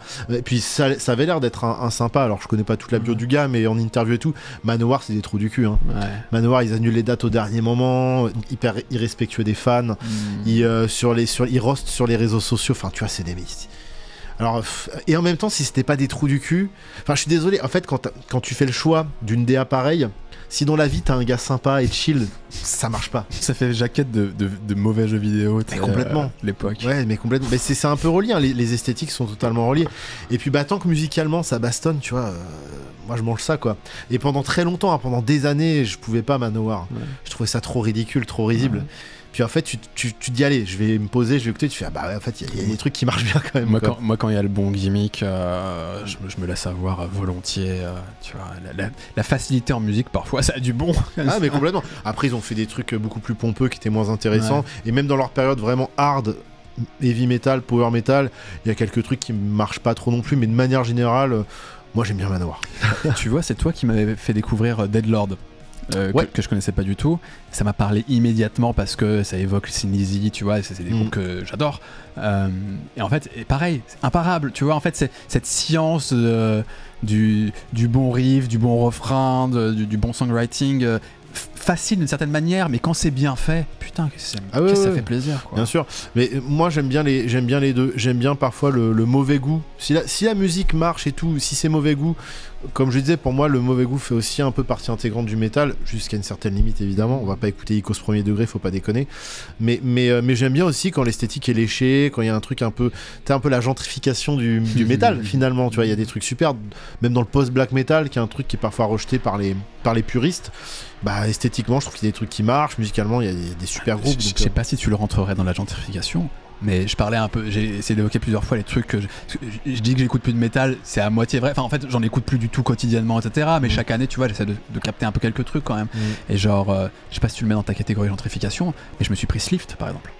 Ah, alors pour moi, c'est ça, ça. encore autre chose, Ouais, certainement. autre Mais- chose mais en fait, parce que- parce que l'esthétique est assez chiadée. C'est quoi J'ai écouté le deuxième album sur la route en Ah voilà. ouais je, je me l'étais pas encore mis, il a l'air encore mieux que le premier. ouais. Ah. Enfin, j'ai pas encore euh, assez de recul, tu vois, mais j'ai bien C'était aimé. vraiment, c'était pas pour la musique qu'ils produisent, mais plus, c'est un très beau packaging aussi, tu Ouais, vois. ouais. Enfin, je- savent- en fait, ils, même offert le vinyle, il est trop beau. je- en fait, je pense qu'ils ils connaissent, ils maîtrisent les codes. Alors, moi, je les mets. Alors, ça reste un peu métal et affilié forcément, parce qu'en plus, ils tournent en effet de métal. Mais tu sais, c'est plus space rock, euh, Mm. psyché rock, garage, tu vois. Moi, je les mets plus là-dedans. Mm. Et c'est vrai que c'est un peu une musique de hipstos, quoi. Ouais. globalement. Mais euh, moi, je trouve qu'ils le font super bien. Et justement, il y a beaucoup de gens qui les trouvent prétentieux dans leur façon, même dans leur DA et tout. Pour les avoir vus en live et pour consommer leur musique, je trouve que c'est un groupe tout à fait legit qui marche bien. Et, et- et puis en live, ça a l'air trop bien. C'est, bah, je les ai vus justement euh, au Hellfest, je sais il y a un an ou deux ans. Première fois que je les voyais. Normalement, Hellfest, c'est pas la meilleure condition hein, pour découvrir des groupes. Tartas. Ouais, ça m'étonne pas. Grosse tartasse et j'espère les revoir dans une salle plus petite avec un bon son de Moi, moi, je les ai découverts avec, tu sais, sur, euh, sur une chaîne américaine qui fait des super lives. Je sais plus s'il y a NPR ou un truc dans le genre. Oui, ils ont fait je sais Euh, pas combien de cent- centaines de cas vus. euh, ouais. Et, et c'est comme ça que j'ai découvert. Et donc sur une prestation live, putain, Mm. la claque. Non, ça Je marche fais, bien. Waouh, et c'est des Français. Wow, je fais- Mm. On disait on est passé de Manowar à Swift, c'est incroyable. Tu vois, finalement, le métal, c'est un truc qui te parle. Bah, mais en vrai, ça. Mais bien sûr, bien sûr que ça me parle le métal. Alors, euh, vois- j'en vois un qui me parle beaucoup d'ailleurs. celui-là. Ouais, mais on, on peut en parler après. Je te laisse gérer. hein. se le mette Bah, en fait, c'est juste, je me dis qu'on allait peut-être sauter des groupes vu Bah, qu'on on peut, prend du bah, temps, bah, mais. en- non, juste on peut, on peut le citer parce que c'est Ah, tu sais quoi, un- on se, met un extrait, Ouais, on est obligé, on est obligé. Bah, toi qui es fan de Gratte, oui, forcément.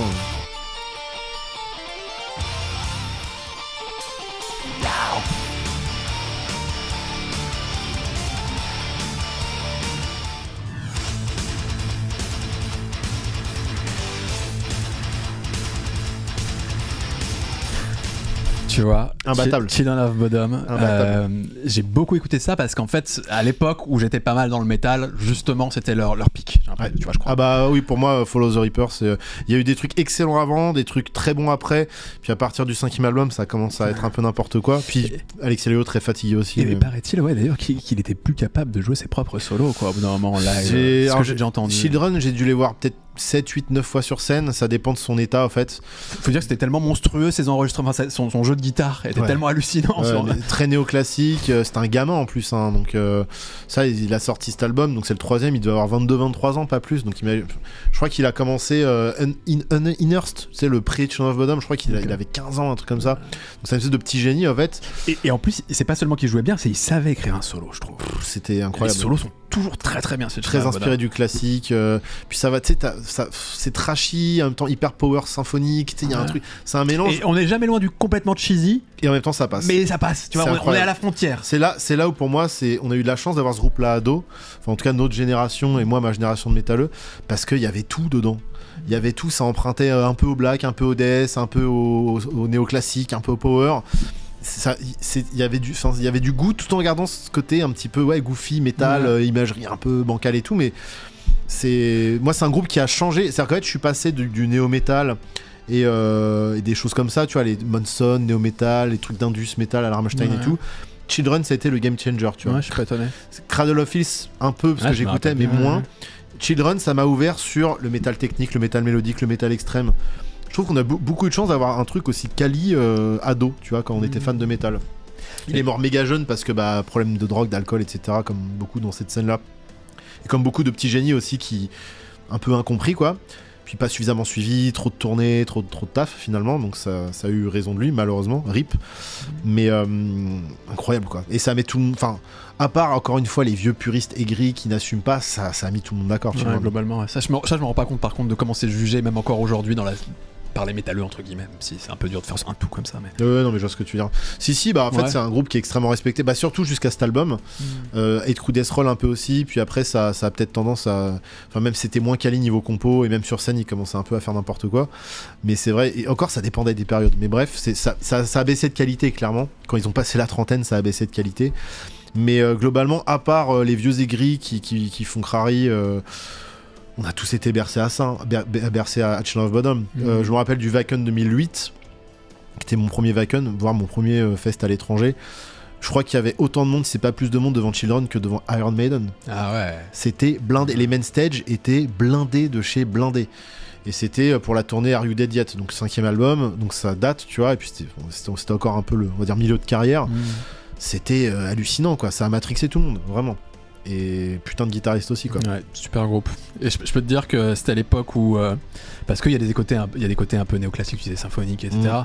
Euh, une des portes d'entrée pour moi, ça a été. Je suis vite passé à autre chose, mais ça a été Nightwish. Antarctica, les trucs comme ça, tu Ah vois. ouais, bah, toute la scène finlandaise mélodique, quoi. Et, euh, et je peux te dire que Children, heureusement, tu vois, qu'il y avait ce groupe qui, qui, qui prenait un tout petit peu de trucs là-dedans, tu Mhm. vois, où on pouvait. Complètement, mais, ouais. mais en, en vieillissant et mille fois mieux, et en, en fait, très vite, tu. Qu'un Nightwish ou un Sonata. Ouais, Et encore, t'écoutes ouais. les premiers na- Sonata, les premiers Nightwish, c'est quand même cool. C'est vrai. D'ailleurs, je crois Sonata, que c'est un truc que j'aurais dû mal. J'ai réécouté, pas, pas récemment, mais euh, des années après, quand même, avoir euh, découvert tout ça, Mm. je pouvais plus. Nightwish, il y a des trucs effectivement qui vieillissent très mal, qui étaient très ancrés dans leur époque euh, métal début années 2000. Sonata pareil. Et là, Sonata vient de revenir avec un album qui a été marketé comme euh, un retour aux racines. Donc vraiment le speed mellow avec plein de synthé, etc. Bon, pas ouf. très bancal. Euh, Je l'ai écouté qu'une fois l'album, ça m'a pas spécialement convaincu. Je le réécouterai parce que c'est Sonata et c'est le groupe de mon adolescence, tu vois, avec Children et Nightwish. comme- oh, Nightwish un peu moins, mais bah, tu sais, tous métal, mélo finlandais comme on disait. Ouais. Mais, euh, mais oui, bah après c'est sûr que tu peux pas être au top euh, toute ta carrière. Ouais. Puis peut-être que c'était pas si bien en fait. Passons à autre chose. Et ça, est-ce que c'est bien Anal Oh J'aime bien le nom déjà. Je crois que c'est un des groupes les plus cancellables de la planète. J'ai fait 2 deux, deux, trois vidéos où je parle de ces, de ces déboires. Donc ça c'est sur un live de 93. Ouais. Ok. Tu verras que c'est un peu triste.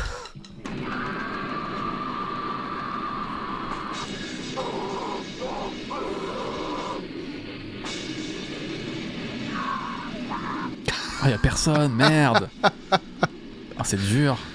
Alors le mec est Et- mort Ouais, il y a quelques années, c'est une légende du grindcore. hein. Euh, les paroles, c'est. Enfin, les paroles, si tu les comprends pas évidemment, mais. C'est alors, il a fait, il a fait un album de chansons acoustiques d'ailleurs avec que des paroles atroces. Le mec. Attends, vas-y, par- parlons en même temps. Ouais, ça faisait un bruit de fond.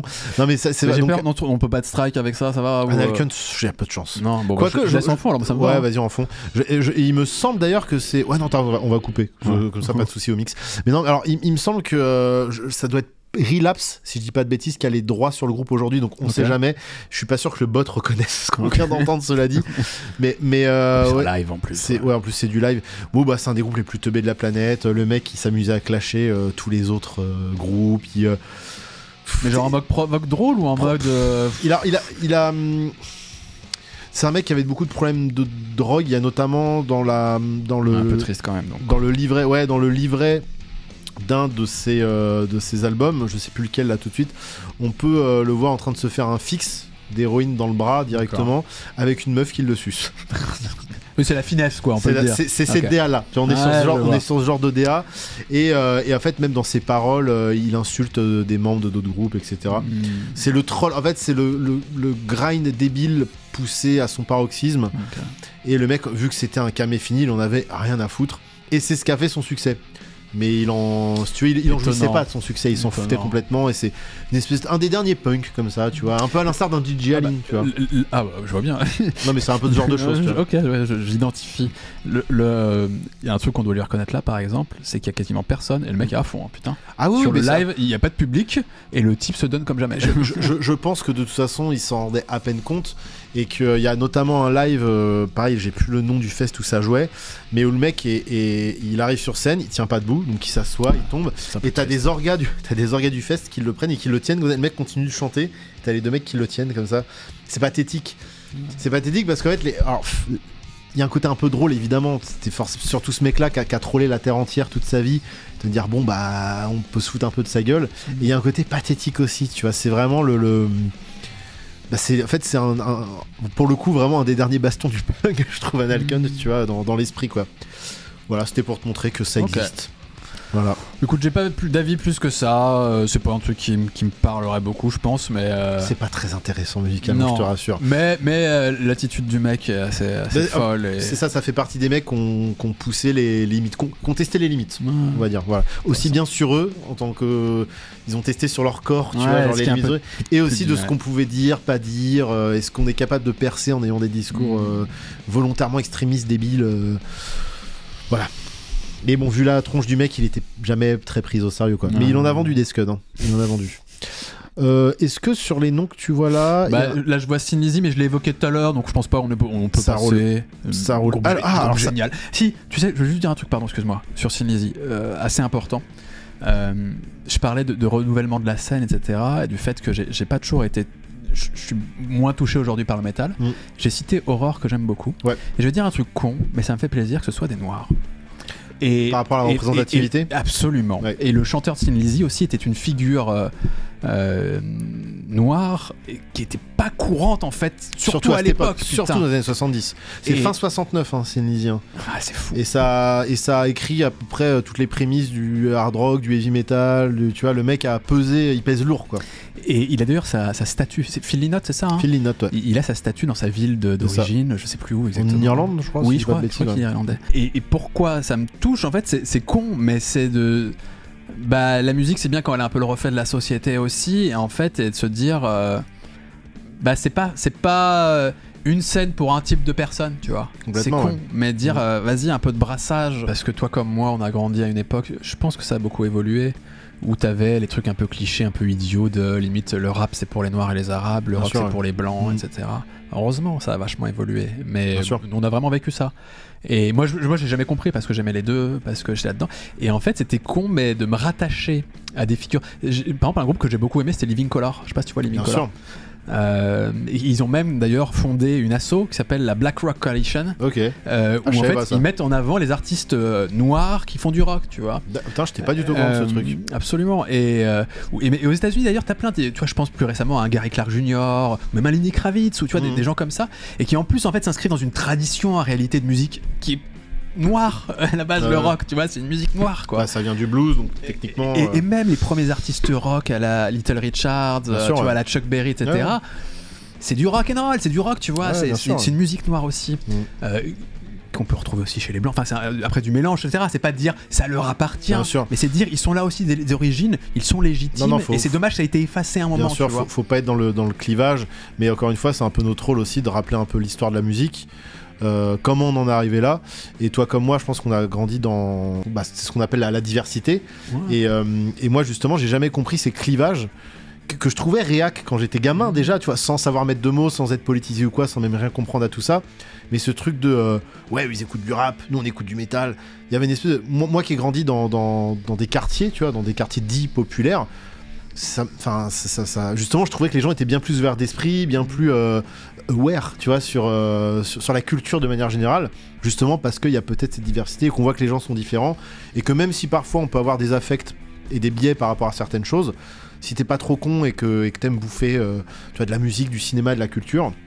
Rester enfermé dans son truc, ça te fait de toi un abruti total. Tu deviens Ouais. complètement gogol, tu vois. Et, et puis il y a un truc très con aussi, c'est que toi, quand toi-même tu as des, tu es issu de l'immigration ou des origines de, de voir des modèles de gens un peu différents au sein d'une scène que toi t'aimes beaucoup, mais il y en a aucun qui te ressemble. Ouais. qui- je parle même pas qu'un truc physique, mais même en termes d'histoire. Et de Mhm. dire j'ai peut-être j'ai peut-être une particularité culturelle à apporter que j'aimerais et, et de le voir euh, au sein de groupes, tu vois, important. euh, la Synésie en l'occurrence. Mhm. Ça fait un truc, tu vois. Et encore, c'était un vieux groupe, et, euh, mais euh, Mm.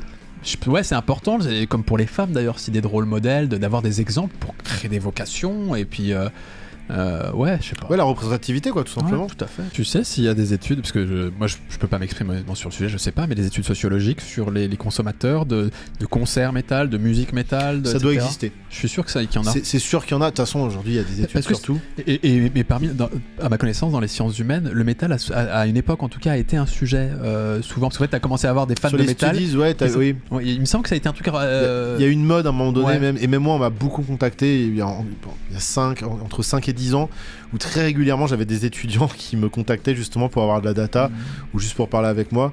Euh, j'ai jamais eu trop de retours sur tout ça d'ailleurs. Mais oui, de- doit y en avoir. Doit y en avoir. Ça, Ce serait parce que ça, c'est des, en fait, c'est des bonnes bases, tu sais, concrètes sur oui, lesquelles du- oui, s'appuyer bah, la pour vraie, ensuite la vraie euh, data, ouais. tenir un peu le discours. euh. Abigor, Ah, ça, je connais pas. euh, très bizarre. Je sais même pas lequel. En fait, je voulais te mettre un morceau. Donc, en fait, j'avais mis l'album parce qu'il existe qu'en full album, ce truc sur YouTube. Est-ce que c'est celui-là? Bon, on va écouter un petit, un vrai petit bout parce que tu vas voir, c'est ça part dans tous les sens. Vas-y. Quand je dis que des fois le black metal peut aller très très loin, Abigor fait partie des groupes qui sont allés très très loin. Ok.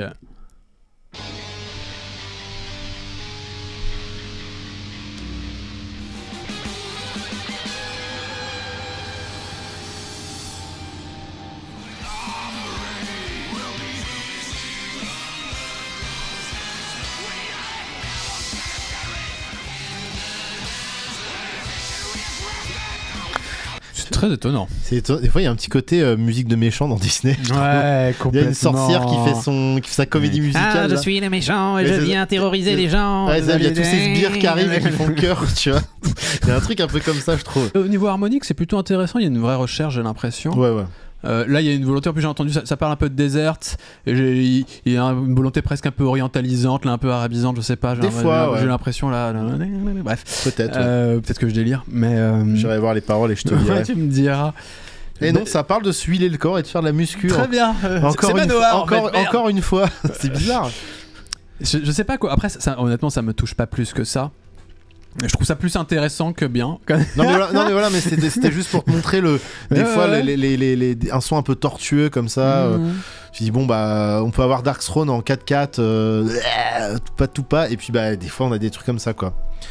Et c'est là où le black metal des fois euh, nous étonne.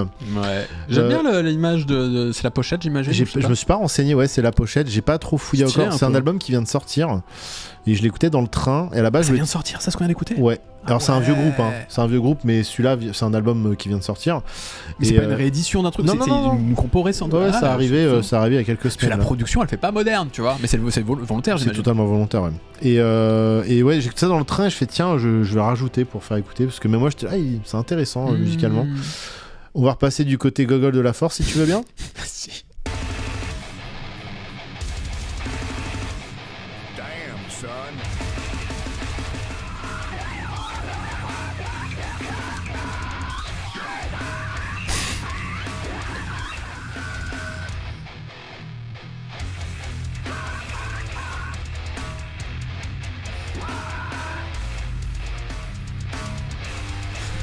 Et en vrai, c'est vachement bien. C'est mortel, hein Ouais, ça, ça, groove un max. hein. Ouais, de ouf. Alors on perd quelques neurones quand on écoute Ouais, ça, mais putain, ouais, c'est oui. efficace quoi. C'est, euh, euh, moi, de toute façon, j'ai une affection pour la musique de débile, entre guillemets. Mm. C'est, Tu sais, de la musique euh, juste euh, d'énergie pure, ça raconte rien, voire ça dit des bêtises. Un break qui Mais- fait bouger la tête et basta. mais il y a un truc, tu vois, putain. Bah ça c'est un peu le donc eux ils sont dans la niche brutal death slam death. C'est pas le côté très brutal blast beat double pédale du, du brutal death. Non. C'est plus le côté groovy mi tempo Ouais, euh, ouais, efficace. Ça me parle, ça me parle de ouf. Tu, tu sais, euh, ça me fait penser, alors en beaucoup plus moderne, hein, mais tu vois, moi j'ai été marqué par des trucs, genre, euh, Suicidal Tendencies évidemment, Mhm. euh, par Booyah Tribe. Je sais pas si tu Alors, vois Booyah Suicidal, Tribe. je vois très bien, l'autre je vois pas. Booyah Tribe, c'est un, groupe de, de rap américain, euh, mais qui, mais en fait, enfin, c'est un groupe aussi de rock, de métal en fait. C'était les deux, mais c'est justement, je fais le lien avec Suicidal Tendencies parce qu'en fait, c'était- des gangsters. Bah, il y a le côté vois. street. Il y a street- des, des gangsters street, tu Ouais. vois, euh, qui pourraient faire du rap et qui scandaient un peu comme du rap, mais sur des grosses guitares. Ouais, ouais bah c'est ça en fait, il y a le côté. euh, bah, tu sais, tout à l'heure, quand on parlait de diversité ou même d'inclusivité dans le métal, Ouais. faut pas oublier qu'il y a toute cette scène crossover, hardcore, metal hardcore, qui apporte ce côté justement un peu plus de, de- de la street, entre guillemets. Ouais. C'est un bien grand mot, et puis il y en a, ils le sont pas forcément de la street, mais c'est Non, quand mais même là, un truc là, qui la vient. street californienne Voilà, c'est ça, c'est ça. Et puis t'as aussi les, même à, à New York, t'as aussi là, une scène euh, très hardcore, tout ça, avec vraiment des, des mecs qui viennent des, des classes sociales pauvres. Mm. Et euh, alors eux, techniquement, je sais pas vraiment euh, d'où ils viennent ou quoi, je me suis pas Mm. renseigné sur eux, c'est juste que le P était euh, formidable d'efficacité. Mais euh, et, effectivement, même si musicalement, il y a, à part peut-être le groove, on retrouve une, un lien de cause à effet. C'est vrai qu'il y a toute, toute cette scène métal qui est pas dans les délires corpse paint ou épée et dragon, tu vois, qui est vraiment dans le Ah bah côté. euh, l'esthétique est complètement différente, voilà. visuelle, je veux dire. Mais t'en t'en as pas mal des, des groupes comme ça finalement, tu vois.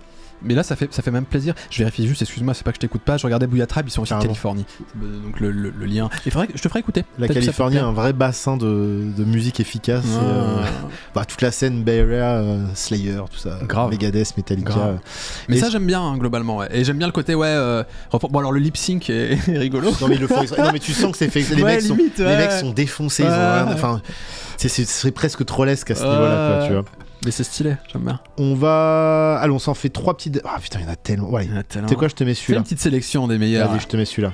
Brat. Je connais pas. Alors je te passe un peu le. Parce que c'est des. En fait, c'est des morceaux très très courts. Ok. C'est-à-dire que t'as 1 minute 30 de scénario, de clip, de pseudo-scénario, et la musique, d'ailleurs on peut voir très bien ici que ça commence à partir de là la musique, tu vois. Mais tu vois, là, tous les groupes qu'on voit là, je, les, je connais plus trop. Tu vois. Ouais, après je t'ai mis des trucs plus underground. Ouais. là. ouais, Ouais, exprès.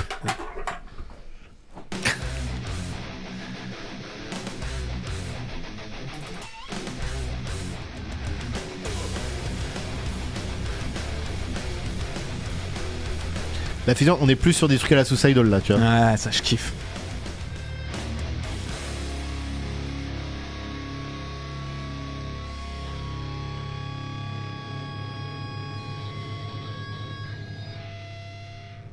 Et voilà, C'est bien, en vrai. hein. c'était Brat.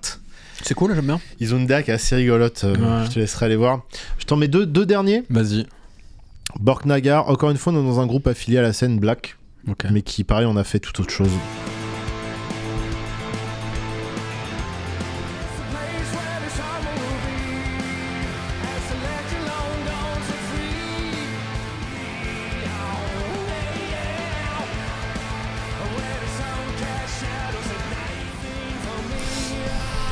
Alors, tu sais quoi Euh, En vrai, c'est pas mal. Mhm. Euh, il a l'air d'avoir une super voix. Ouais, Euh, enfin, une, maîtrise vocale. Une euh, des plus belles voix de la Norvège. C'est vrai Ouais. Il y a un seul truc qui va pas pour moi, c'est que c'est un, un peu trop policé. Ah, ok, je vois ce que tu veux dire. Tu sais, euh, je voudrais qu'il y ait cette voix, Ouais, ouais. qu'il y ait cette composition un- presque un peu pop, enfin très mélodique, dans un très, truc plus très easy dans la prod. et dans un truc un, Ouais. un peu plus méchant. Et bah, il faut écouter les vieux Arcturus Et ou les vieux vois. Borgir. Parce que Ah, ça, en fait, en fait, ce chant Dimmu Ah, Borgir. Dimmu Borgir, il a pas la même voix. Alors, c'est dans- c'est que t'as pas écouté les bons morceaux de Dimmu Borgir Ah, ok. parce qu'en fait, c'est hum, à l'époque où il était bassiste dans, Dimmu- dans Dimmu Borgir, il faisait aussi toutes les voix claires. Ah. Et sur des albums comme Spiritual Black Dimension, il chante sur la moitié de l'album. Et il a Ok. cette voix-là. Effectivement, c'est les prods des vieux Dimmu un peu plus cradingues avant qu'il fasse, qu'il fasse un truc plus hollywoodien. Ok. Il y avait cette prod un peu black metal cradingue. Et là, ça match. Dans Arcturus aussi, c'est un peu moins polissé. Arcturus, Arcturus, c'est- c'est un groupe aussi dans lequel il a chanté qui est excellent. Bah, c'est le dernier chanteur d'Arcturus, hein, il est encore dedans. Et t'écoutes les premiers albums d'Arcturus, tu... c'est dans ce style-là, un peu plus. C'est peut-être moins joyeux, il y a un côté plus mystique dans Arcturus. Ça parle plus de l'espace et tout. Et euh, effectivement, la prod est peut-être un chouïa plus cradingue, old school. Hmm. euh, voilà quoi. Parce que, attends, je réécoute un tout petit peu. En vrai, tu vois, par exemple, c'est ultra efficace sur le refrain. Euh, Attends, attends, en fait, il y a- y a, y un y a espèce de second refrain qui est dingue.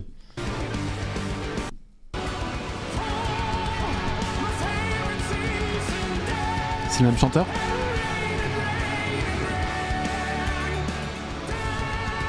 Après, après, il le répète. C'est euh, étonnant. Et en fait, il y a aussi un truc. euh, je trouve que ça marche bien sur les refrains ou sur des passages, mais euh, c'est aussi une espèce de. Tu sais, un peu, c'est un pavé musical. Tu sais ce que je veux dire? C'est ça respire pas. C'est Bah, tout, tout le temps. C'est c'est souvent ça le métal. En fait, ce que beaucoup de, de mélomanes reprochent à- au métal extrême de manière générale, Ouais. c'est son côté très compressé en fait. Ouais. Ça respire Ouais. très peu. Ouais. Et, et- mais ça dépend des groupes encore une fois. Mais et en même temps, T'as- euh, T'as un peu de dynamique sur la batterie, heureusement, mais sinon, pff, tu vois, ouais, effectivement, c'est des gros ouais. Ouais. C'est des gros pavetons. Euh, des t'as moins dans le hardcore par exemple, qui ça respire un peu plus. Et toi, c'est plus ta cam, ces trucs un peu plus groovy. Certainement. Un peu plus, mais, euh, mais là, vraiment, le côté mélodique et belle voix, pour... tu vois, ça peut, ça ah, peut être ma cam, mélodiquement, euh, mais, euh, moi, moi j'adore ce morceau. Borknagar, c'est pas un groupe que j'aime plus que ça, mais ce Ouais. morceau, je le trouve pff, grandiose quoi. Est-ce que tu vas reconnaître l'hommage à un certain clip? Ah, je vais te dire.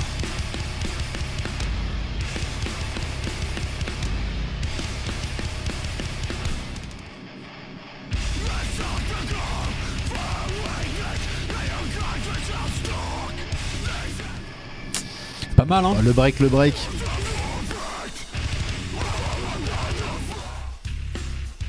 C'est chambé, hein? Ouais, c'est stylé. C'est méga violent. Alors, moi, je, je- je- comme en fait j'écoute assez peu cette musique aujourd'hui, euh, moi je prends énormément de plaisir à écouter ça. Mm. Euh, je sais pas si c'est d'une originalité folle en fait, tu vois, ça je suis pas certain par non, alors exemple. c'est très bien fait par contre. Ouais, c'est très très bien fait. hein. C'est méga efficace, méga groovy, méga brutal. Ouais, Les mecs, je les trouve stylés. Ouais, Ils sont tous grave. stylés.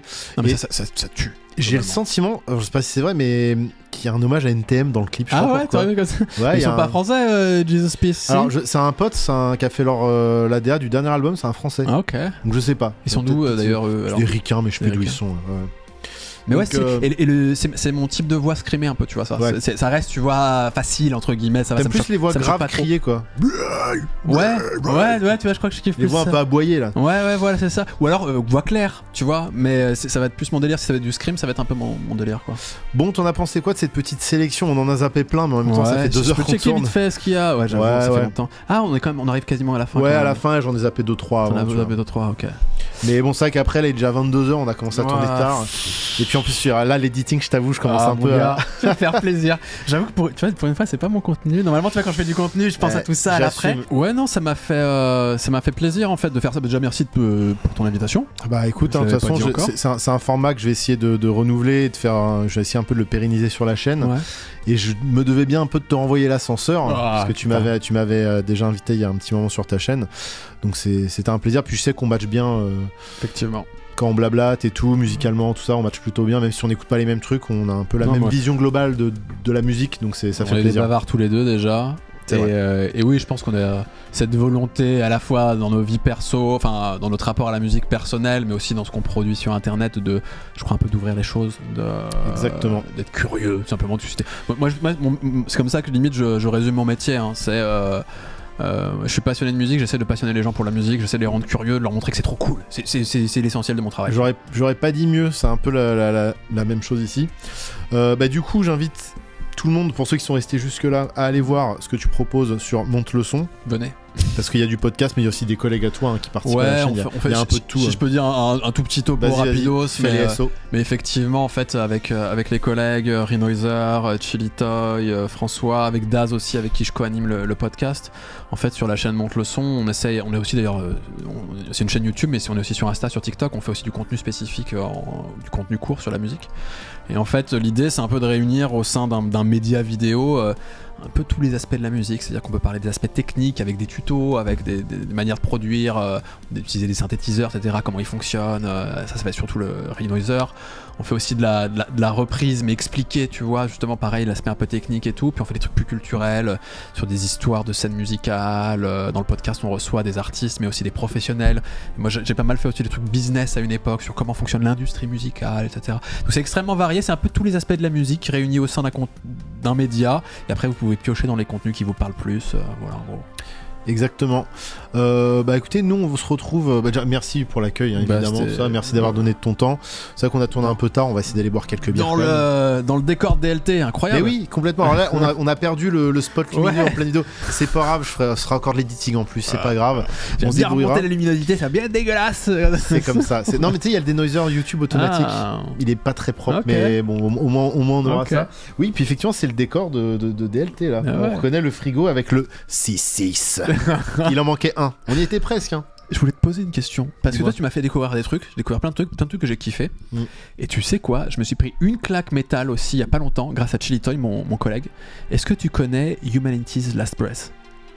Le Blaze me dit un truc, Humanity's Last Breath. J'ai un Alors, doute. je suis incapable de te le définir. Humanity's Mais Last je me Breath. suis pris une claque sonore avec ce truc. On parlait un peu de sound design. Les gars, ils ont des sons dans les graves, ils ont un son travaillé hallucinant. C'est d'une violence absolue. Et je trouve ça dingo. Alors c'est un groupe de métal suédois d'après Wikipédia, mais euh, non, j'ai jamais. euh, Ah, ils sont chez Unique Leader. Ah oui, donc c'est des groupes plutôt tech, tu vois, Deathcore, Gent, effectivement. Ok, donc non, j'ai pas. euh, Bah écoute, je, je connais que deux noms. Bah j'ai racheté une Et oreille. bah, check ça et tu me diras. j'ai racheté une oreille. Ça m'a mis une claque. Et là, je vais me faire défoncer par les abonnés parce que ça se trouve, je l'ai déjà reçu en, en stream. Et j'ai pas retenu le blaze. En même, temps, en même temps, je reçois des, des trentaines, quarantaines de groupes par semaine. Je peux, je peux pas tout retenir, les gars. Excusez-moi.